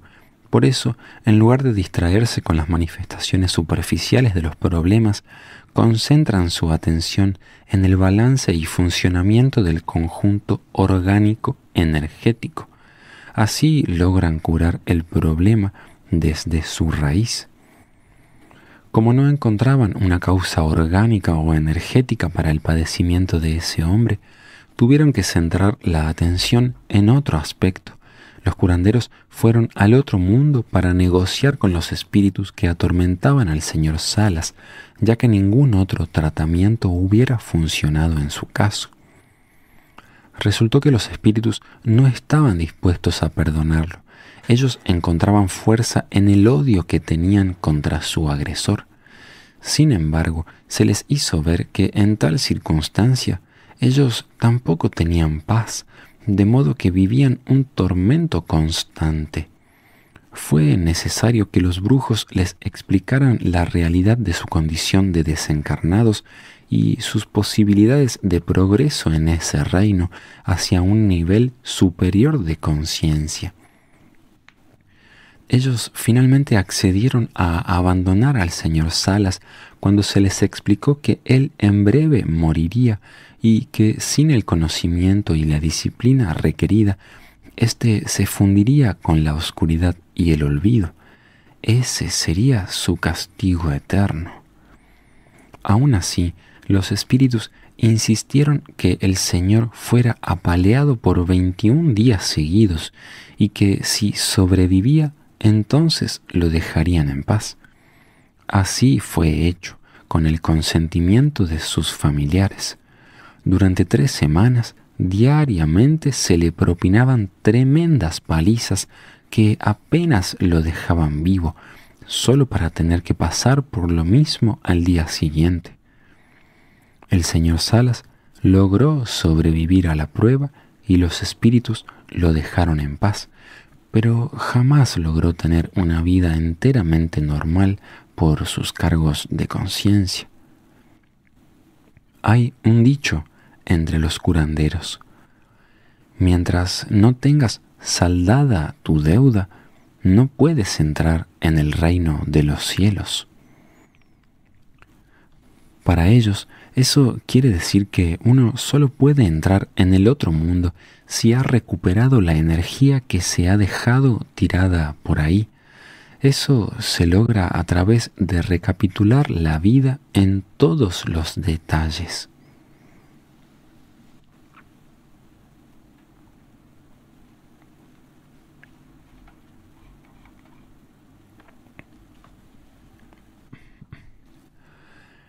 el pegoste energético. En una ocasión, el padre Graciano, quien era el párroco de un pueblo cercano, trajo para ser atendida a una mujer extranjera muy rica y educada que sufría de desmayos súbitos. Según dijeron, ella no creía en curanderos indígenas, pero ya había ido a ver a los mejores especialistas que existían sin que nadie pudiera explicar qué tenía o qué le pasaba. Había aceptado venir a una consulta como un último recurso. Su llegada fue causa de gran agitación, pues todos querían verla. Yo también estaba curioso. Sin embargo, en aquel tiempo era muy nuevo y cuando pude contemplar a la señora no percibí gran cosa.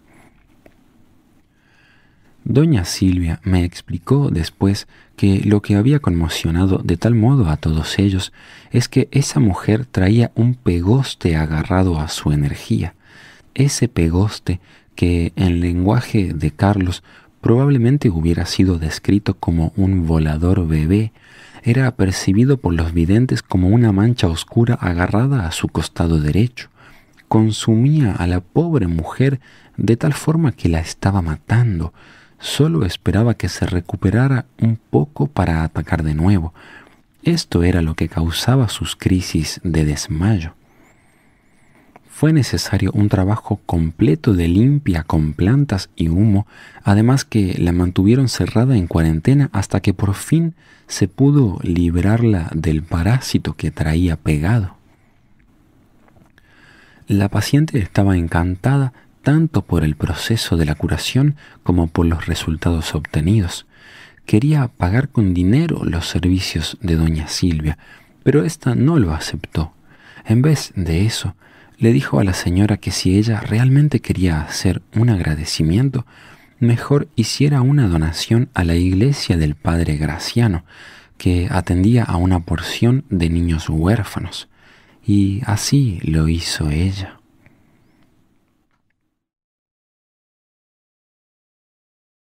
El jugador de pelotas.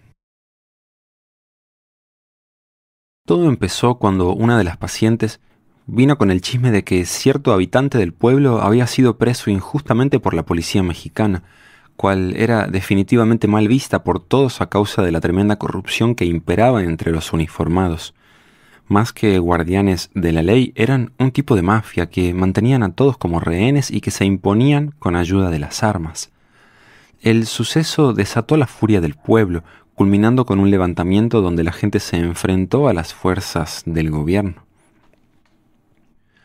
Pues esa misma noche, mientras comentaban los sucesos, doña Silvia nos contó uno de sus relatos que pasó a ser uno de mis favoritos.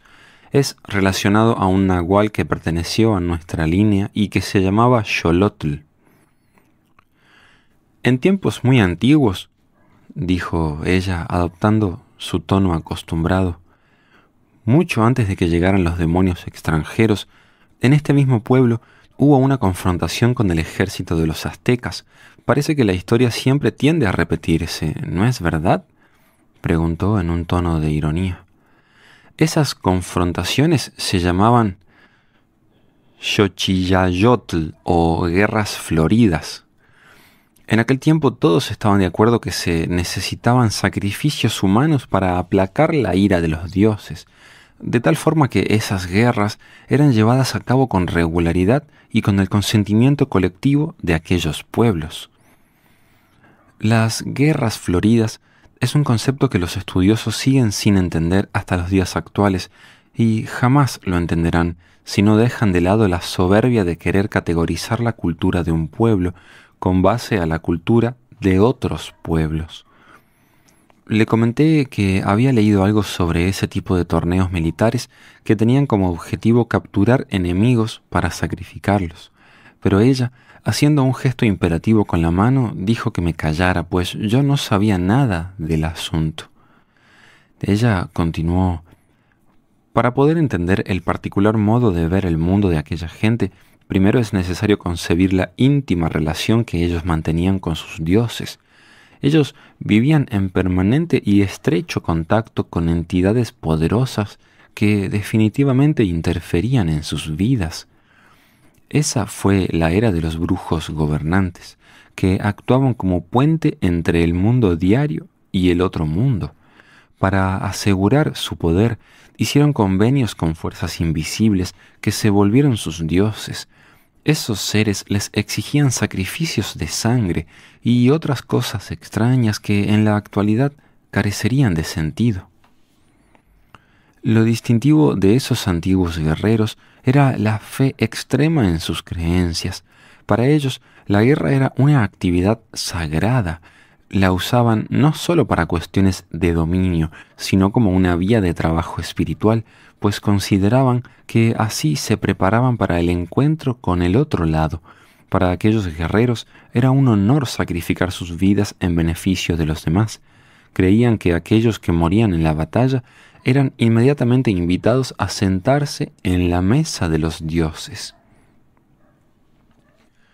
Según se cuenta la costumbre, era que aquellos que resultaban vencidos o capturados en esas batallas eran los escogidos para ser ofrecidos en los sacrificios, pues es bien sabido que la sangre más codiciada por los dioses es siempre la sangre de los bravos guerreros. Sucedió que Xolotl quien pertenecía a la fraternidad de los guerreros ocelotes, fue capturado durante una de esas escaramuzas, pero no antes de haber luchado con tanta bravura que ganó incluso la admiración de sus enemigos. Él fue entonces llevado junto con otros prisioneros hasta la gran Tenochtitlán para ser ofrecido en sacrificio al dios Tlaloc en petición de lluvias, porque en aquellos días la sequía era muy grande y, según la usanza, se requerían dádivas de sangre para se requerían dádivas de sangre para poder ser escuchados por los poderes que rigen las lluvias. Como cautivos, caminaron durante muchas horas bajo el agobiante sol del verano que lanzaba sus rayos como flechas de fuego. Finalmente llegaron a la sombra refrescante que proyectaba la gran pirámide, un delicioso descanso para la piel desnuda y quemada de los prisioneros. Nos explicó doña Silvia que en el caso de Xolotl hubo una ligera alteración en los procedimientos habituales, ya que en vez de ser sacrificado de inmediato como era la costumbre, los sacerdotes arguían que, dado que había luchado con tanto valor, él merecía una recompensa. Los gobernantes de la pirámide le concedieron la oportunidad de jugar un último juego de pelota, con la promesa que de ganarlo sería liberado. En Ulama, o juego de pelota prehispánico, es un juego hoy casi extinto que consiste de dos aros de piedra con un agujero redondo en medio cada uno colgado de manera vertical a unos 4 metros de altura, en las paredes paralelas del campo a unos 20 metros de distancia uno del otro, el campo de juego tenía unos 50 metros de largo. Era como un callejón con altas paredes, con los aros de piedra empotrados en el centro, uno de cada lado.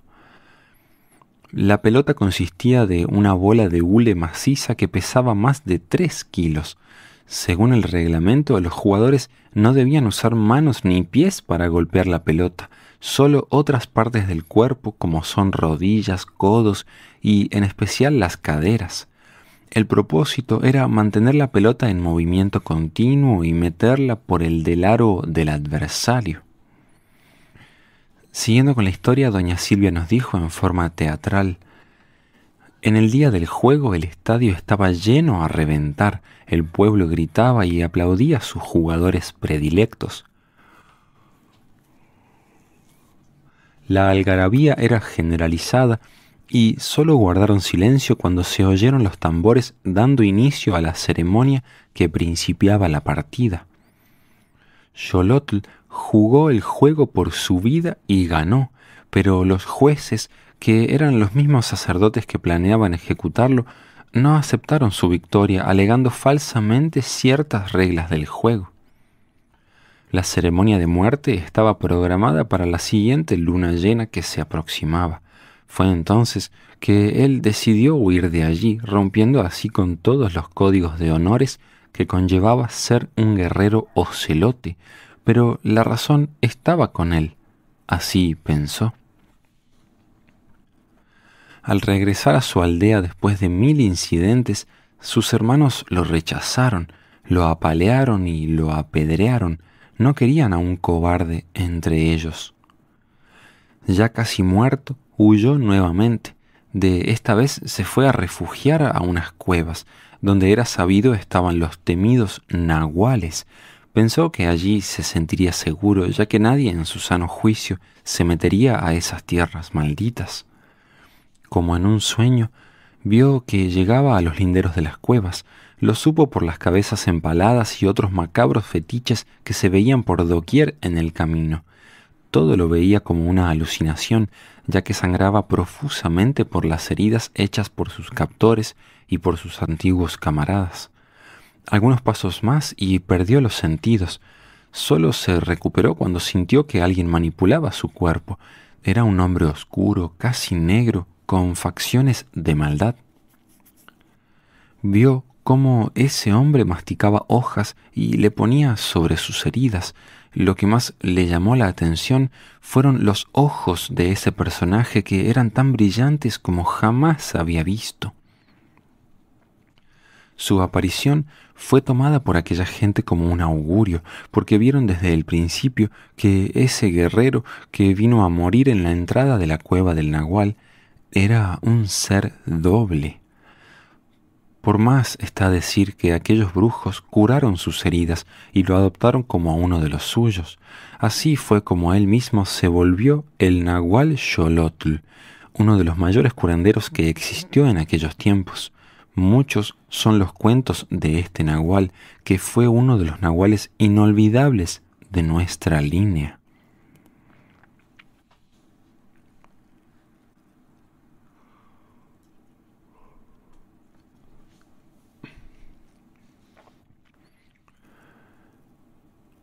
La leyenda del guerrero enamorado.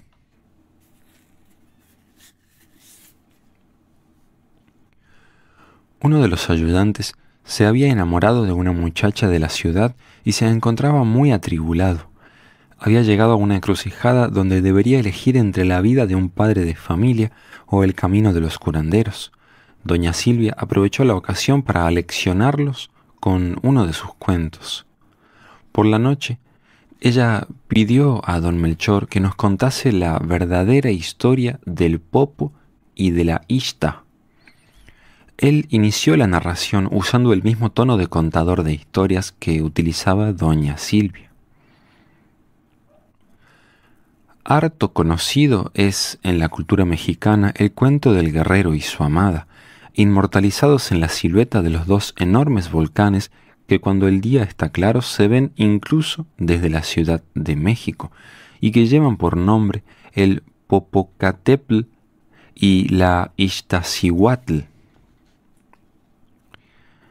Lo que no es tan conocido, sin embargo, es la interpretación que le damos nosotros los curanderos a esta leyenda, dijo con una expresión de maldad mientras hacía subir y bajar sus cejas en un movimiento ondulante. Con esa bufonada él había logrado aumentar sobremanera el interés de los asistentes en la historia. Es ahí cuando se puede apreciar la pericia que tienen para adaptar la situación a sus propósitos. Esta historia se remonta a la antigüedad, continuó. Dicen que allá por la Ameca, que en aquellos tiempos así se llamaba porque hoy en día se llama Amecameca o la otra Ameca, que es la ciudad que fue construida sobre la anterior, después de la primera fuera destruida por una erupción del volcán. Pues en aquellos tiempos anteriores a la erupción, cuando el pueblo aún se llamaba Ameca, vivía en la zona un gran curandero que tenía un estrecho contacto con el espíritu de la montaña. Dicen que ese brujo hizo un acuerdo con el ente de la montaña y, según lo planeado, llevó a una doncella a que diera a luz adentro de una cueva.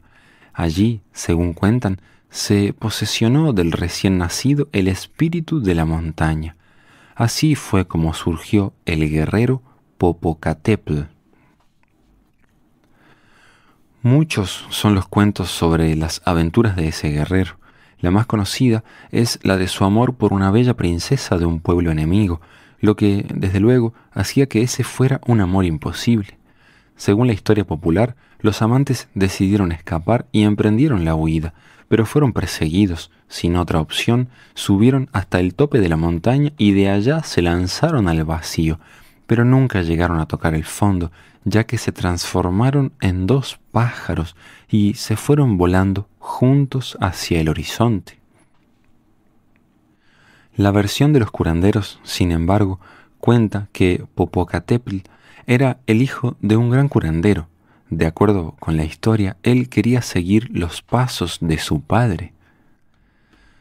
Desde niño tenía la vocación, de hecho, siguió fielmente todos los pasos correspondientes al camino del guerrero y estaba a punto de volverse un brujo como su padre, pero quiso el destino que Popo se fuera a la fiesta anual del pueblo y ahí conoció la hermosa Iztaccíhuatl, por quien se quedó completamente apasionado. Los jóvenes amantes se olvidaron del mundo y se entregaron a su amor y ya que ellos obviamente eran residentes de esa área, acostumbraban pasear por los hermosos bosques que rodean las montañas. Había y aún hay los cuentos de lo peligrosos que son ciertos lugares en esas montañas. Dicen los viejos que nadie subiría o entraría en ciertas cuevas que existen por allá, ya que son la morada de los espíritus. Cuenta la leyenda que durante uno de los paseos que los jóvenes hicieron a las montañas fueron seducidos por los espíritus que habitan ese lugar. Sucedió que ese día los amantes subieron las escarpadas laderas y nunca más se supo de ellos. Unos creen que murieron muertes comunes en los barrancos o que se perdieron en el laberinto de las cuevas. Otros creen que pasarán al otro mundo por una abertura que de tiempo en tiempo se produce en ese lugar de forma natural. El caso es que por esta historia uno puede ver qué tan fácil es extraviarse del camino. Es muy fácil ceder a los sentimientos y hundirse en el mundo cotidiano. Para ser un guerrero uno debe tener un propósito inflexible, dijo mientras miraba fijamente al compañero que sufría del mismo problema. Este bajó la cabeza para huir de la fulminante mirada de don Melchor. Después de un momento de incómodo silencio, él continuó. Ahora, en cuanto a la parte de que los amantes hayan, hayan entrado en aquella cueva y tratado de hacer la travesía, eso también es posible, pero esa maniobra requiere aún más energía desde que uno salta de este al otro mundo en frío, por decirlo de alguna forma.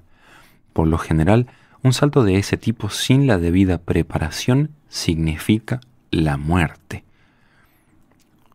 Uno de los ayudantes le preguntó si era cierto que existieron o si aún existen lugares como ese. Respondió, Pues míralo aquí el compadrito Manuel, él ya estuvo con él ya estuvo en la boca del lobo, pero logró salir entero. ¿No es verdad, compadre? Así es, compadre, respondió don Manuel. Hace años, en mi juventud, fui a buscar esas cuevas con otros dos compañeros. Acampamos en el local y esperamos por tres días, hasta que se abrió la boca del lobo, que así es como nos referíamos a la puerta al otro mundo. Era la medianoche. Nosotros creíamos, que nuestro entrenamiento sería lo suficiente, pero al entrar, cada uno fue succionado hacia el vacío. Yo logré escapar porque en el último instante percibí que no sobreviviría a esa prueba y reuniendo toda mi fuerza, salté hacia atrás. Mi benefactor se enojó mucho por nuestra audacia y desobediencia. Se perdieron los dos compañeros que entraron delante de mí. Nunca supe si lograron mantenerse o si se desintegraron bajo aquella tremenda presión. Don Manuel agregó a su testimonio, también hay quienes creemos que el secreto para cruzar esa puerta reside en el amor de las parejas y que solo en pareja es posible pasar al otro mundo, como fue el caso del Popo y de la Ishta.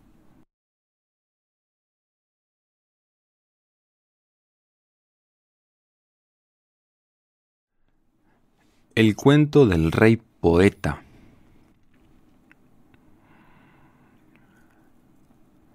Entre los reyes de la antigua Tenochtitlán hubo uno que traía la poesía adentro de sí. Se llamaba Nezahualcóyotl. Ese rey elevó enormemente el nivel cultural de su pueblo. Durante el período en que gobernó hubo grandes avances, tanto espiritual como materialmente, ya que fueron construidos templos, acueductos, las calles fueron empedradas y había un bienestar general producto del comercio entre los pueblos. Cuentan que ese rey fue un gran conquistador, pero no solo de batallas contra sus enemigos, más del espíritu.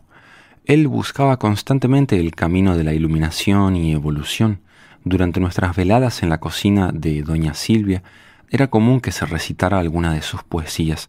Lo hacían en el idioma original, pero después la volvían a decir en español para aquellos que no entendíamos el idioma de los antiguos, pero dejaban bien en claro que a pesar de que se traducían las palabras, el sentimiento real inevitablemente se perdía.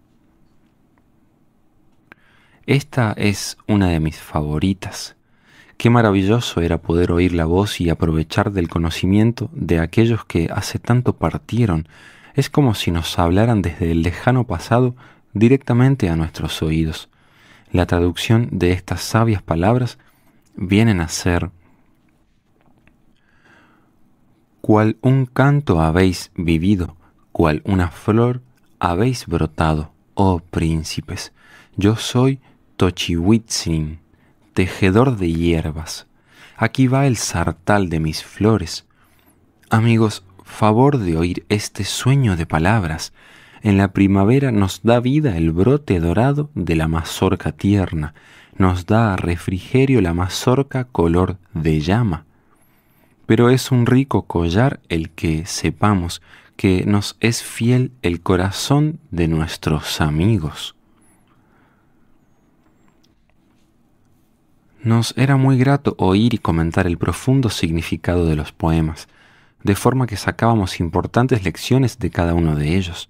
De hecho, me volví tan aficionado a las inspiradas palabras del rey poeta que prácticamente recopilé todo lo que estaba a la disposición.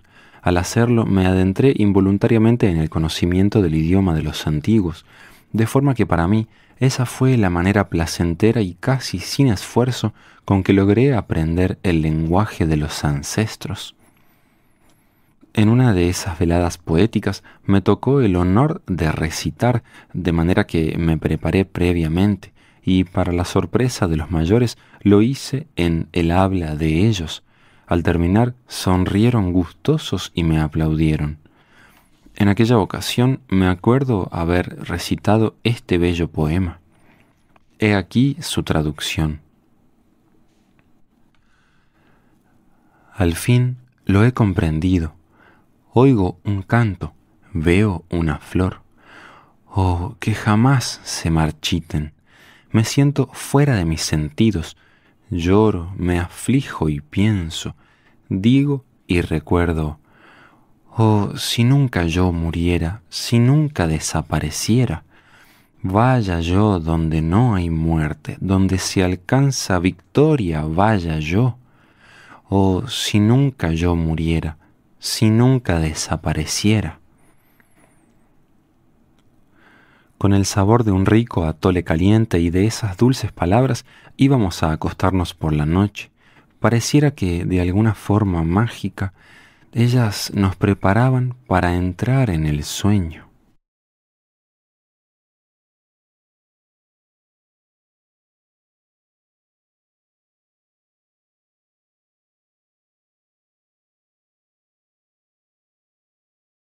Parte 3.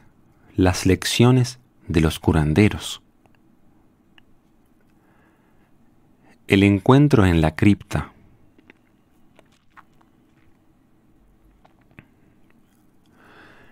Esta obra se trata de lo que me ha sucedido por haberme involucrado con un grupo de practicantes de curanderismo y brujería. No es mi interés describir aquí sucesos cotidianos. Lo que comparto es, por lo tanto, una selección de hechos y momentos extraordinarios donde aprendí o experimenté algo especial. Mi primer contacto con ese mundo mágico fue por medio del propio Carlos, quien me preparó una trampa y de un modo indirecto me presentó a esa tradición de brujos. Recuerdo que en aquella ocasión, antes de dejarme solo en la Catedral de México, él me había dicho que yo debía bajar a las catacumbas de la iglesia pararme con los ojos cerrados en el centro de un círculo grabado en el piso, mirando hacia el sureste. Inicialmente me preocupó la orientación debajo de la iglesia, pero el dibujo tenía marcados los puntos cardinales. Hice lo que me indicó y después de un tiempo de estar allí parado, tuve la extraña sensación de que alguien me observaba. Abrí los ojos justo a tiempo para ver cómo un hombre vestido con atuendo indígena se ocultaba en la cripta al final del pasillo. Aprehensivamente caminé hasta allí, solo para averiguar que no había nadie en ese recinto.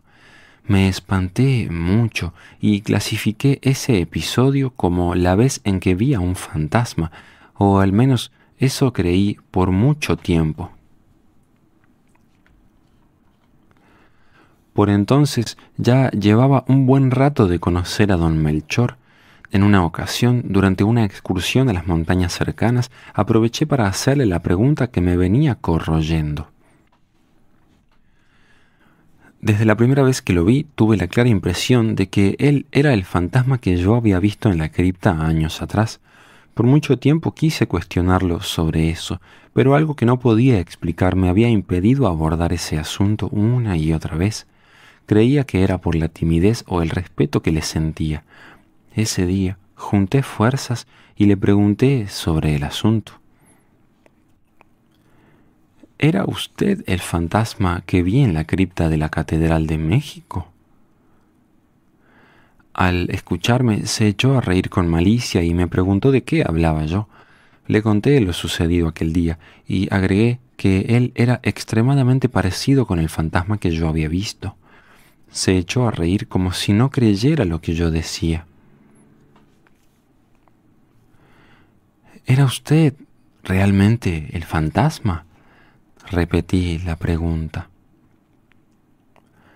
Nando, esa era la forma cariñosa como a veces él me llamaba. Debes tener en cuenta que nosotros ya nos conocíamos desde tiempo atrás. No te acuerdas porque nuestra reunión fue en el otro mundo. No entendí su aseveración. Mi mente estaba fija en la cuestión de que si él era o no el fantasma. Pero si era usted, ¿o no? Me contó que aquel día, cuando Carlos nos había presentado en la cripta, los tres habíamos tenido una larga interacción. Luego pasó a describirme lo sucedido. Lo extraño era que conforme él hablaba, yo iba recobrando la memoria de lo que había vivido. Era como si sus palabras fueran una linterna que iluminaba las memorias que hasta un segundo antes había estado en la oscuridad. De esa forma, con su ayuda, me recordé que ese día Carlos me dijo que debería bajar a las criptas. Mientras estaba allí abajo, algo sucedió, pues vi a Carlos y un señor de apariencia indígena que se aproximaban. Exclamé, Carlos, pensé que te había sido. Riéndose, él me dio de golpecitos en la espalda. Mientras señalaba al Señor, Explicó que cuando iba de salida había encontrado a ese amigo y que quería presentármelo. Dijo que se llamaba don Pablo y que era un gran brujo. Lo saludé y le dije mi nombre. Don Pablo me abrazó afectuosamente. Hoy lo sé, pero pasé años sin recordar nada de lo que me había pasado aquel día. Sucedió que mientras me abrazaba, él me dio inesperadamente un tremendo apretón. Sentí como si me exprimiera o si me jalara por el alto de la cabeza. La imagen que me evoca ahora que lo pienso es la de una crema dental siendo exprimida, deslizándose hacia arriba. Sentí que perdí el conocimiento. Entonces, de forma paulatina, volví a darme cuenta de mí mismo otra vez. Noté que algo en mí estaba cambiado. Sucedió como en un sueño, donde vi a Carlos y a don Pablo que reían. Supe que me encontraba en otro estado de conciencia, porque todo tenía un brillo inusual. Por un breve instante percibí la telaraña de luz que se sobreponía a todo esa fue la primera vez que tuve una experiencia semejante, pero en lugar de sorpresa tenía una sensación de regocijo, como si todo fuera ya conocido. Mientras estuve en ese estado, noté cómo deambulan en aquel lugar entidades del otro mundo. Recordé que, de hecho, aquel día tuvimos una larga interacción. Don Pablo me dio consejos respecto a cómo debería conducirme en la vida. También me recomendó el uso de algunos tés que, según él, servirían para purificarme. Después de nuestro intercambio, Carlos me dijo que debería pararme en el círculo con los ojos cerrados y dejar que el poder de aquel lugar me regresara a la conciencia cotidiana. Lo hice así y sentí como si despertara de un sueño. Lo siguiente que tuvo lugar fue la sensación de que alguien me miraba. Recordar nuestro encuentro aquel día me puso en un estado de euforia similar a la embriaguez. Entré espontáneamente en otro nivel de percepción. Don Melchor aprovechó la oportunidad para instruirme en nuevas lecciones que luego se borraron de mi memoria normal y solo me quedé con una extraña sensación de que había perdido algo. Cuando al fin me percaté de mí, estábamos ya en el pico del cerro, sin que pudiera recordar cómo había llegado allí.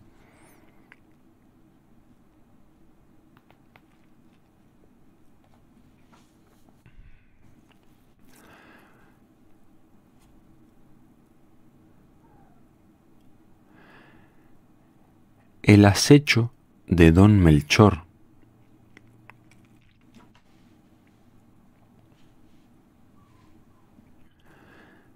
Mi contacto con los curanderos fue algo semejante a subir a un tren en movimiento. Con ellos no había tiempo para el aburrimiento. Siempre estábamos ocupados en algo muy importante o de extremada urgencia, como acostumbraban decir, ya fuera la curación de algún enfermo o una ardua excursión hasta el tope de un cerro distante, en diversas ocasiones con el único propósito de la caminata en sí misma.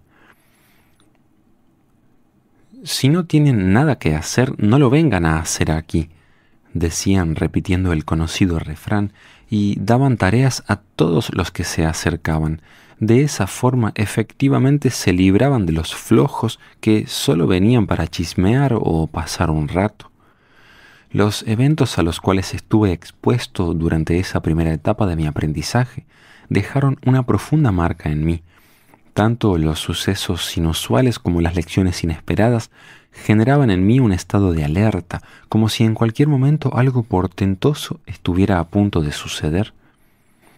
Cuando creí que el polvo ya se iba bajando, por así decirlo, y que ya empezaba a tener una mínima idea de lo que transcurría entre esa gente, recibí otra impresionante lección, esta vez en el arte del acecho. En varias ocasiones yo había preguntado a don Melchor sobre los objetos de poder sin que me dijera nada significativo al respecto. Un día él mismo me llamó y dijo que me iba a enseñar un lugar en las montañas y que con suerte allá podríamos encontrar algún objeto de poder. Al decir esto, asintió con la cabeza repetidas veces a modo de incitarme a la aventura. Me advirtió esta será una excursión larga y peligrosa, así que debes prepararte. Me hizo preparar una gran mochila con suplementos y víveres. Por lo visto, planeaba pasar fuera varios días. La caminata fue de hecho extenuante. Ya llevábamos dos días y aún ni siquiera habíamos llegado a la montaña que se suponía debíamos subir. El calor y los insectos hacían la excursión aún más difícil. Hacia el mediodía, mientras nos dirigíamos a un paredón de rocas, él decidió que era un buen momento para descansar. Estuve de acuerdo. Luego sugirió que me fuera al matorral para vaciar los intestinos. Retomamos el camino y mientras subíamos por una costa empinada, al cruzar un barranco, don Melchor me tendió la mano para ayudarme a cruzar la brecha. Al terminar de pasar, levanté la mirada y casi me cago en mis pantalones del puro susto. Yo estaba sosteniendo la mano de don Gabinito, no la de don Melchor. Estaba completamente chocado, quedé insensible por un largo rato. Don Gabinito fue muy comprensivo conmigo. Dijo que cosas como esas eventualmente ocurrían y que no debería tomarla demasiado en serio. Nos sentamos en unas rocas cercanas a petición mía, porque no me sentía muy bien, me sentía confuso, medio adormilado. Por un instante no estuve seguro de dónde estaba ni de con quién había salido a caminar. Permanecí allí sentado, tratando de recobrarme. Don Gabinito empezó a hacer un berrinche porque yo no estaba respondiendo a sus preguntas. Su histrionismo me sacó de mi autorreflexión. Entonces él dijo que tal vez sería mejor llamar a don Melchor de regreso. Quise decirle que no, pero él, sin esperar ningún comentario de mi parte, empezó a gritar John. ¡Ey, John! ¡Ven acá! Fue andando por detrás de unas piedras, llama, llamando por Chon. Del otro lado apareció don Melchor con una sonrisa de quien acababa de hacer una travesura. Tuve la clara impresión de que ambos estaban jugándome una broma. Intenté desesperadamente apaciguar mi razón, diciéndome que tal vez don Gabinito estaba oculto entre las rocas y que él había agarrado mi mano, al mismo tiempo que don Melchor se escondía, provocándome un susto espantoso, pero en el fondo sabía que no era así. Don Gabinito usaba la misma ropa que don Melchor. Desde entonces me puse muy suspicaz, estuve silenciosamente observando cada detalle. Fue cuando me percaté que jamás había visto a don Melchor y a don Gabinito juntos en un mismo lugar. Fue solo hasta mucho después que entendí la estupenda maniobra de don Melchor. Cuando él era don Gabinito, cambiaba tan radicalmente, tanto en su físico como en su personalidad, que él era en realidad otra persona. Convencía a todos, incluso después de conocer el secreto de sus transformaciones, seguí como en automático, actuando con don Gabinito de una manera y con don Melchor de otra.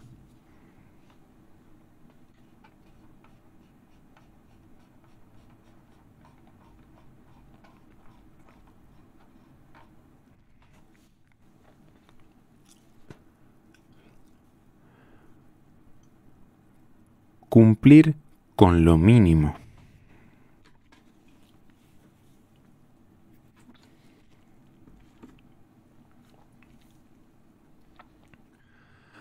En las liturgias que con frecuencia participábamos, como parte de la religiosidad del grupo, se nos enseñaba los detalles de la fe católica.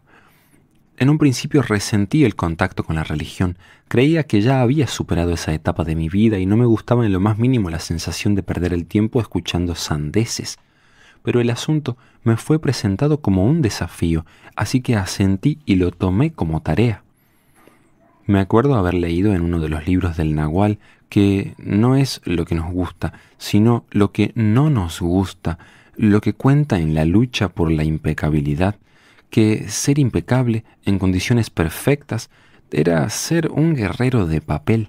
Esto es así porque los guerreros de papel, cuando confrontados con situaciones inesperadas donde no tienen el control, se hacen pedazos, se les aflora la importancia personal a niveles de absurdos. En cada ocasión, ya sea en las misas o en los rezos que se realizaban con regularidad en las casas de los fieles, se hablaban de los detalles de las doctrinas. En una ocasión, la predicación fue sobre los diez mandamientos de la ley de Dios. Más tarde, de regreso a la casa, los curanderos nos dieron su versión de los mandamientos tal y como ellos lo, lo interpretan. Don Melchor dijo, En primer lugar, es necesario expandir la visión del Dios humanizado que nos heredaron los europeos. La idea de Dios como un hombre barbudo sentado en un trono a la usanza de los reyes de la Edad Media es algo infantil. Creer en eso es tanto como creer en las fábulas que se cuentan a los niños, como por ejemplo la historia de Santa Claus, que es transmitido a los infantes como verdades y que terminan por crear en su momento la primera gran desilusión del chiquillo, no tanto porque Santa no existiera, sino porque sus padres les mintieron. Es entonces que la mentira pasa a formar parte de su mundo. Ese es el momento justo cuando el niño pierde su inocencia. Para alcanzar a Dios es necesario recuperar aquella pureza original donde teníamos la capacidad de creer en Papá Noel la única manera de concebir a Dios es abstrayéndolo porque todo es energía vibrante. Al darnos cuenta que somos parte de esa misma energía, nos integramos con Dios. Considérese los billones de galaxias que existen en el universo, cada una con sus trillones de soles, cada cual con planetas girando a su alrededor, todo moviéndose como un reloj. Es obvio hasta para los ateos de que existe una fuerza creadora todopoderosa que mantiene todo lo que existe. Incluso estos intuyen que todo lo que existe es parte de algo inconmensurable e incomprensible. Ese algo es lo que la gente llama Dios. Cada religión, cada cultura tiene un nombre distinto para ese infinito. Los científicos llaman a ese poder sin nombre gravitación, sin entender lo que dicen. Nosotros usamos los nombres que recibimos de los antiguos. Sin embargo, los nombres realmente no vienen al caso. Lo que sí importa es el esfuerzo que se haga para tener un contacto directo con esa fuerza, con Dios. Al contrario de las enseñanzas que trajeron los conquistadores, que nos presentaron a un Dios humanizado, a nosotros nos enseñarán que esa es una fuerza impersonal que abarca absolutamente todo lo que existe.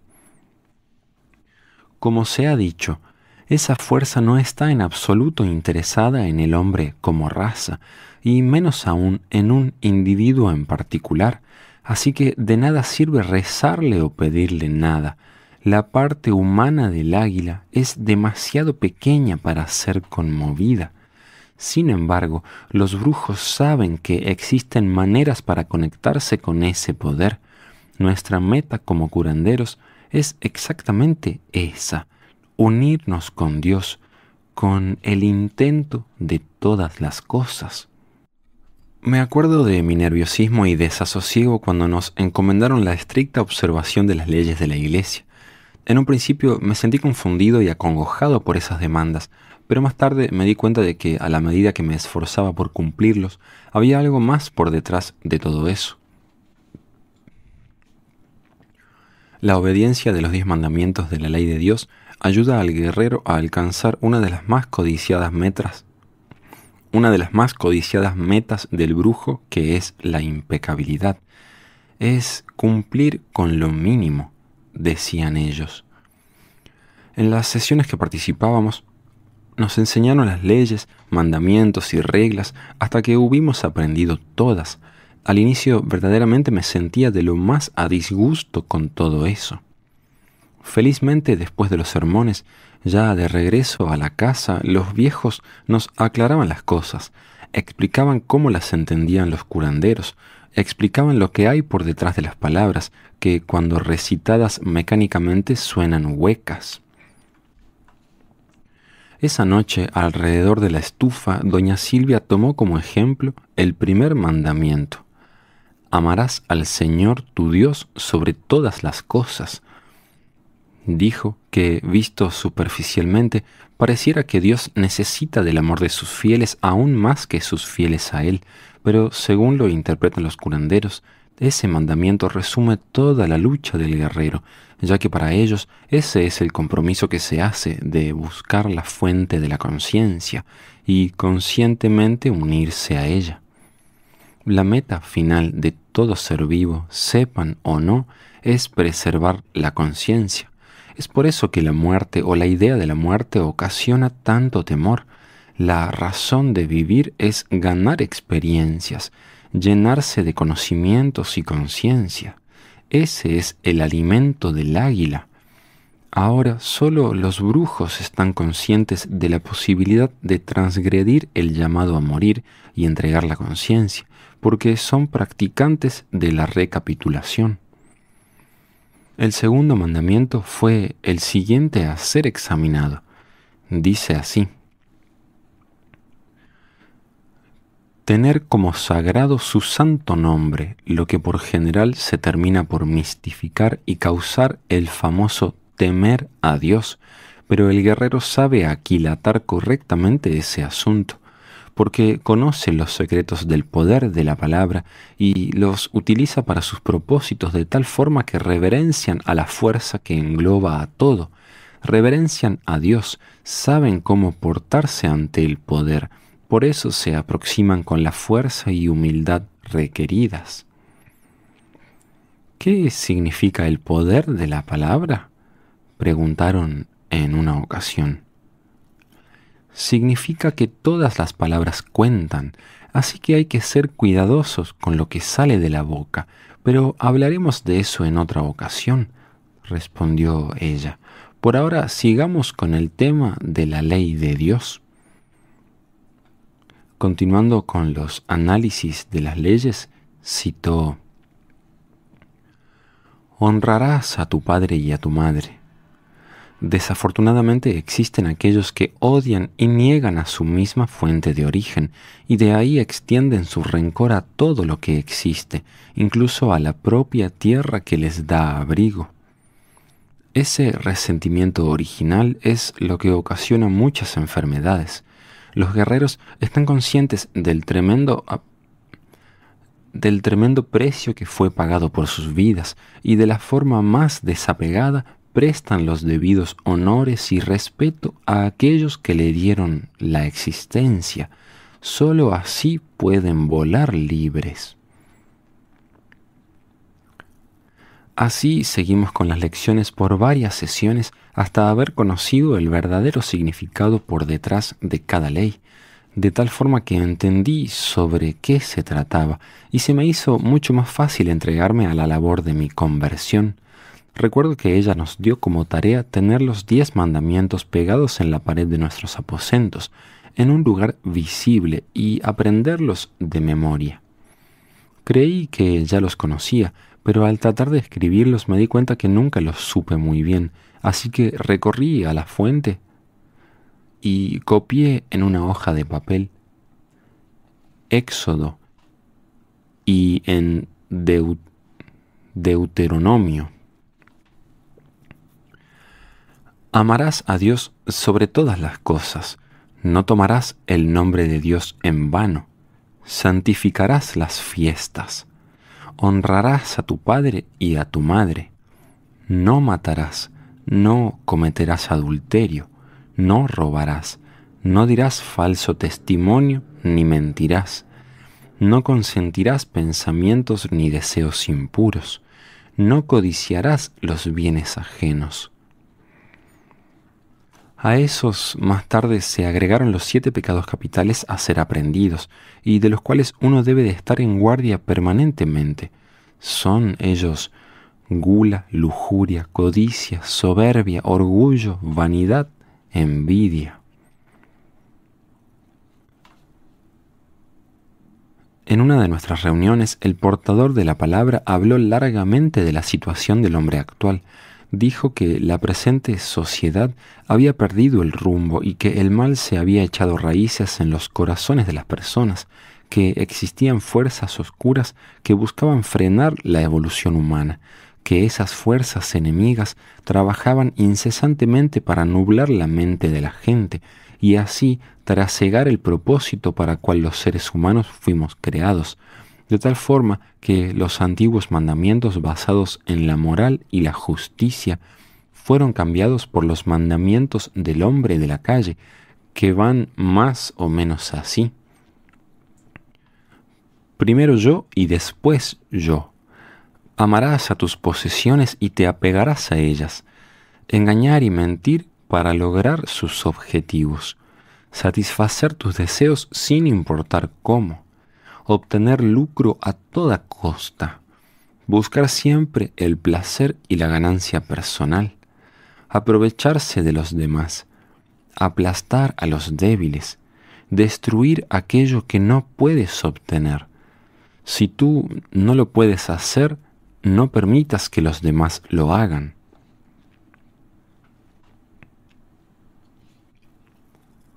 Dentro del tema, lo siguiente fue el estudio de cómo los curanderos ven al mundo y cuáles son sus diez mandamientos. Para esa lección nos llevaron de paseo hasta unas grutas monumentales que guardaban en su interior un gran parecido a las bóvedas de las iglesias góticas.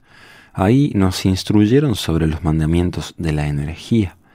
Los diez mandamientos de los curanderos o de la energía son ser bueno, ser honesto, ser moral, ser verdadero, ser impecable, ser paciente, ser desapegado, hacer el bien, cultivar la energía, cultivar el silencio.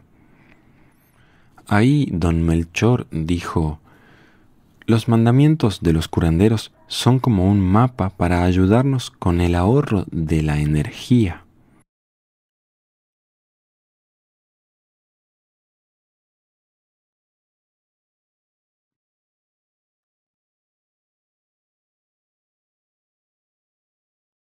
El poder de la palabra.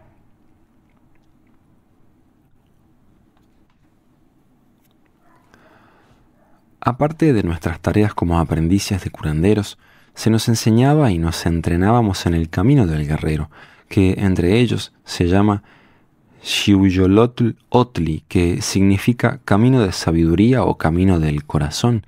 El hecho es que, no importando la nomenclatura que se utilice, la meta es la misma, la conexión con el espíritu. El hombre moderno ha renunciado al mundo mágico en favor de la razón y al hacerlo fue echado del paraíso, perdió su conexión con el intento. El primer paso a ser dado para regresar al estado natural es, por lo tanto, quererlo de todo corazón, Luego, a través del entrenamiento del guerrero paso a paso, se empieza a limpiar y revivir el vínculo de conexión con el intento. La energía es acumulativa. Cada acto donde se ejerce la voluntad y se escoge portarse impecablemente ayuda y facilita el acto siguiente hasta poner de nuevo en funcionamiento el vínculo de conexión. Esa es la manera de lograr la integración. Aprendimos que creamos el mundo con la atención y lo mantenemos estable con la voluntad. Decimos que las cosas son así y asá, que creemos en esto o en aquello. Aseguramos que las cosas son de tal o cual manera. Al hacerlo, los brujos dicen que decretamos el mundo, establecemos sus parámetros. Doña Silvia nos aclaró ese punto cuando dijo, decretar es como sembrar semillas de intento para que germinen más adelante. Lo que ella quería decir era que al poner nuestro intento en determinada cosa, eso posteriormente se hace realidad. Así que hay que ser precavidos con nuestros pensamientos y con las palabras que salen de nuestras bocas, ya que mientras no se tenga el control, el intento que nos llega es ciego. Ella advirtió, hay que ser muy cuidadosos al decretar porque funciona en una u otra dirección. Con igual intensidad se puede decretar el amor o el odio, el perdón o la venganza. Aquellos que escogen el mal están condenándose a sí mismos, ya que estamos atados a nuestros comandos y todo lo que se decreta nos regresa más adelante. No es que haya dos tipos de intentos, sino que uno decreta la continuidad. Decretar deliberadamente el futuro es decretar lo que va a ocurrir después. La manera de hacerlo es instigando al intento. Para ese efecto, los brujos suelen usar gestos y palabras encubiertas, entre otras técnicas.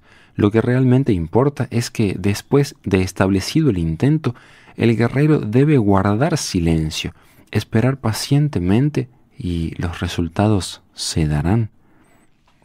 Al estar enlazado con todos nuestros hábitos, vicios, sentimientos, uno decreta inconscientemente su continuidad. La única manera de romper con esa cadena es decretando lo contrario. ¿Puede darnos un ejemplo de qué realmente es decretar? preguntó uno de los ayudantes. Decretar es más que solo decirte a ti mismo en automático que tal cosa es así o asá, respondió ella. Decretar es darte un orden a ti mismo y hacer más que lo imposible por cumplirla. Al principio puede ser difícil, pero a la medida que mantienes tu decisión una y otra vez, llegará el tiempo que tus comandos serán la ley. Darse un comando a sí mismo significa que te das una orden a ti mismo. Un comando no es una promesa, no es tratar o probar, es una orden y es algo que debe ser obedecido. Es algo mucho más profundo que el mero deseo. Una vez dada la palabra, una vez establecido un compromiso, se desatan fuerzas que forjan y moldean el mundo. Así comprometemos nuestra voluntad con la de los demás. Ahora, si por cualquier razón faltamos con nuestra palabra, entonces debilitamos nuestra voluntad y enturbiamos nuestra conexión con el intento. Para estar en el camino hay que poner un pie en el camino. No hay un sustituto para eso. Tómate a ti mismo como ejemplo, dijo al compañero que le había hecho la pregunta vives quejándote de que no logras entrar en el ensueño cuando lo que deberías hacer es simplemente darte una orden, convencerte a ti mismo de que ya eres un ensoñador, que ya estás allá. Nosotros somos lo nosotros somos lo que decimos que somos. Eso funciona tanto para bien como para mal. Si queremos cambiar algo en nosotros, hay que empezar por repetir una y otra vez el cambio deseado. Incluso si a un principio las afirmaciones que utilizamos no son del todo ciertas, no tiene mucha importancia, pues con el tiempo se queda fijada. Nuestros comandos se transforman en los comandos del águila.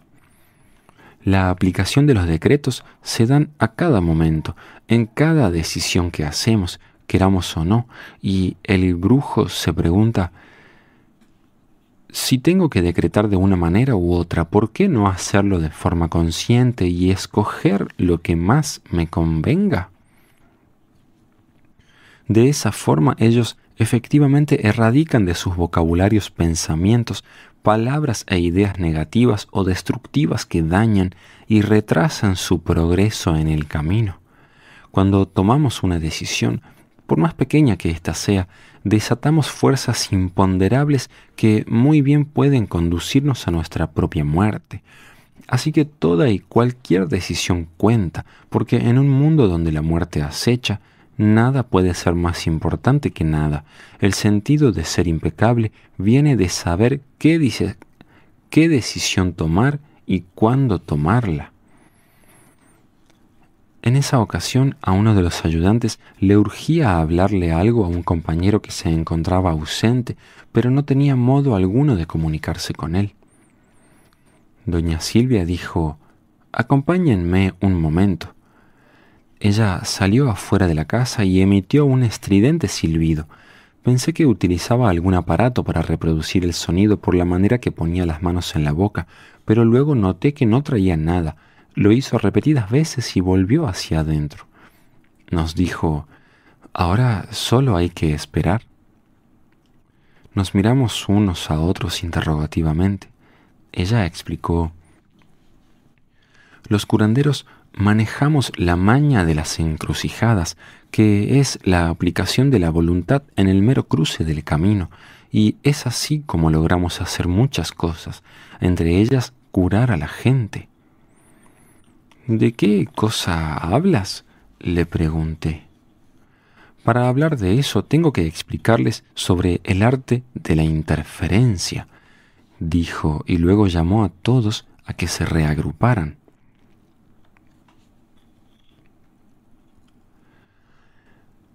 Debo advertirles que lo que voy a explicar es de gran importancia, que este conocimiento acarrea una gran responsabilidad, es considerado como secreto por algunos,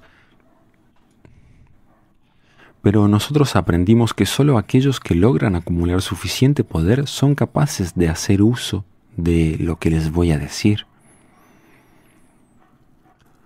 Al entender que estamos conectados a todo lo que nos rodea, uno toma humildemente su lugar entre la creación, luego observa cuidadosamente dónde se sitúa el acoplamiento entre un punto y otro.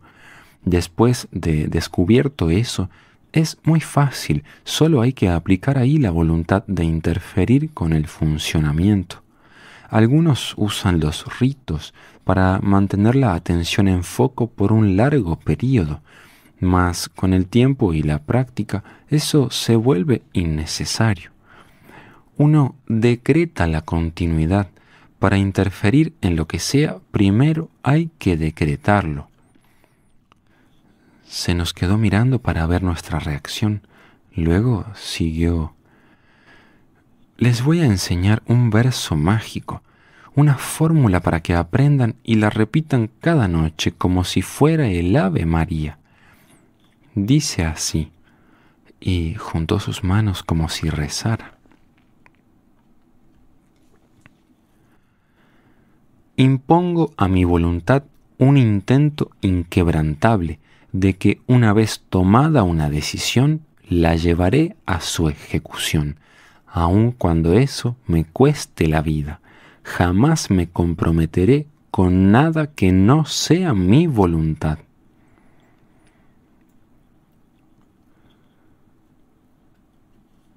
Terminó su encantamiento haciéndose la señal de la cruz. Luego siguió. Las palabras, cuando dichas con propósito e intento, acarrean gran poder. El principal las palabras, cuando dichas con propósito e intento, acarrean gran poder. El principal motivo por que al hombre común le está vedado el mundo del poder es porque nunca mantienen sus palabras. Los guerreros saben que las palabras se vinculan directamente con el intento, por lo tanto hay que usarlas con propósito. Por eso vigilan cuidadosamente todo lo que les sale de la boca. Por lo común, las personas hablan sin pensar. Al hacerlo, se exponen a sí mismos.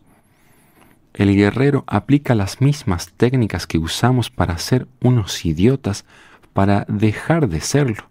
Crea sus propios comandos, en vez de repetir inconscientemente frases hechas, escoge deliberadamente cuáles comandos quiere enfatizar. Un guerrero jamás le da fuerza a los planteamientos nocivos como envidia, odio, rencor, etc. Los ahoga en su silencio, los deja morir lentamente. ¿Qué significa esto?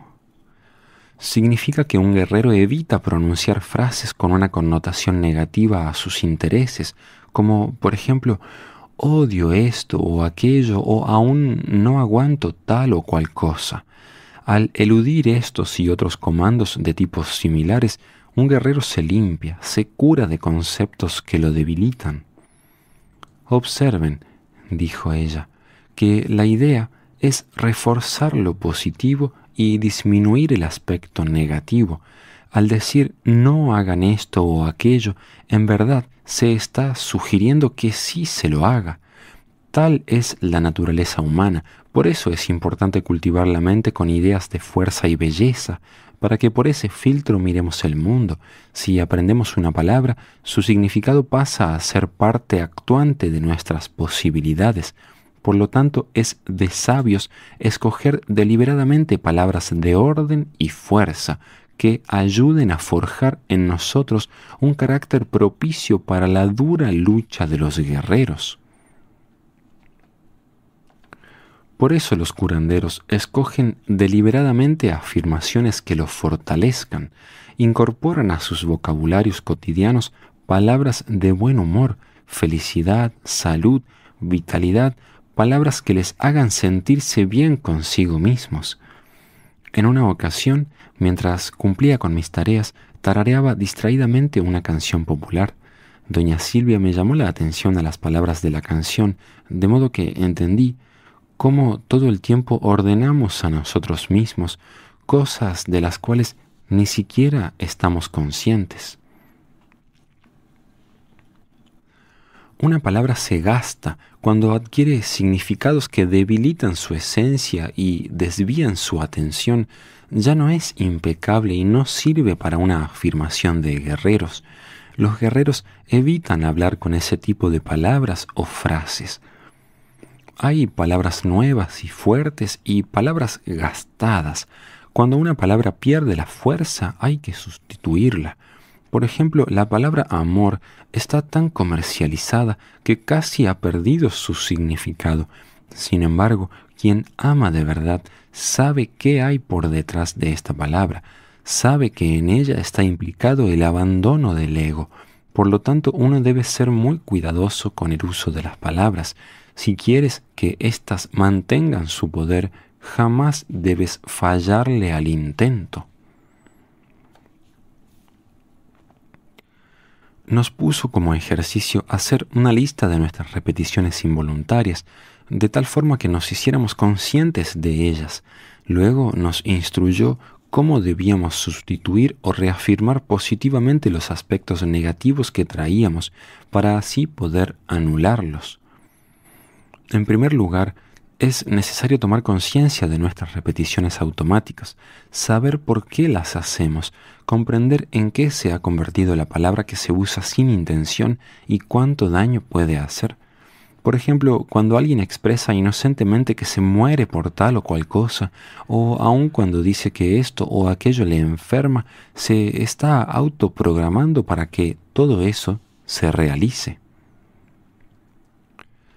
Fue una gran ventaja para mí hacer la lista mientras participaba con los demás compañeros, porque los demás se dan cuenta de nuestras repeticiones, nosotros no. Siguiendo el programa que ella propuso, nos dedicamos a la tarea de hacernos conscientes de que uno tiene un hábito de repeticiones. Según esto, se toma cada palabra o frase que se acostumbra a repetir y darle un tratamiento de fijación, al meditar sobre ella, al repetirla muchas veces en forma seguida, a veces incluso en tono de burla, al hacer esto las palabras pierden por completo su significado básico porque dejan de sugestionarnos. Al verter atención sobre ellas, automáticamente la carga de significado subconsciente se va desvaneciendo. Otro ejercicio interesante por el cual pasamos que produce grandes resultados es asignar valores arbitrarios a la palabra.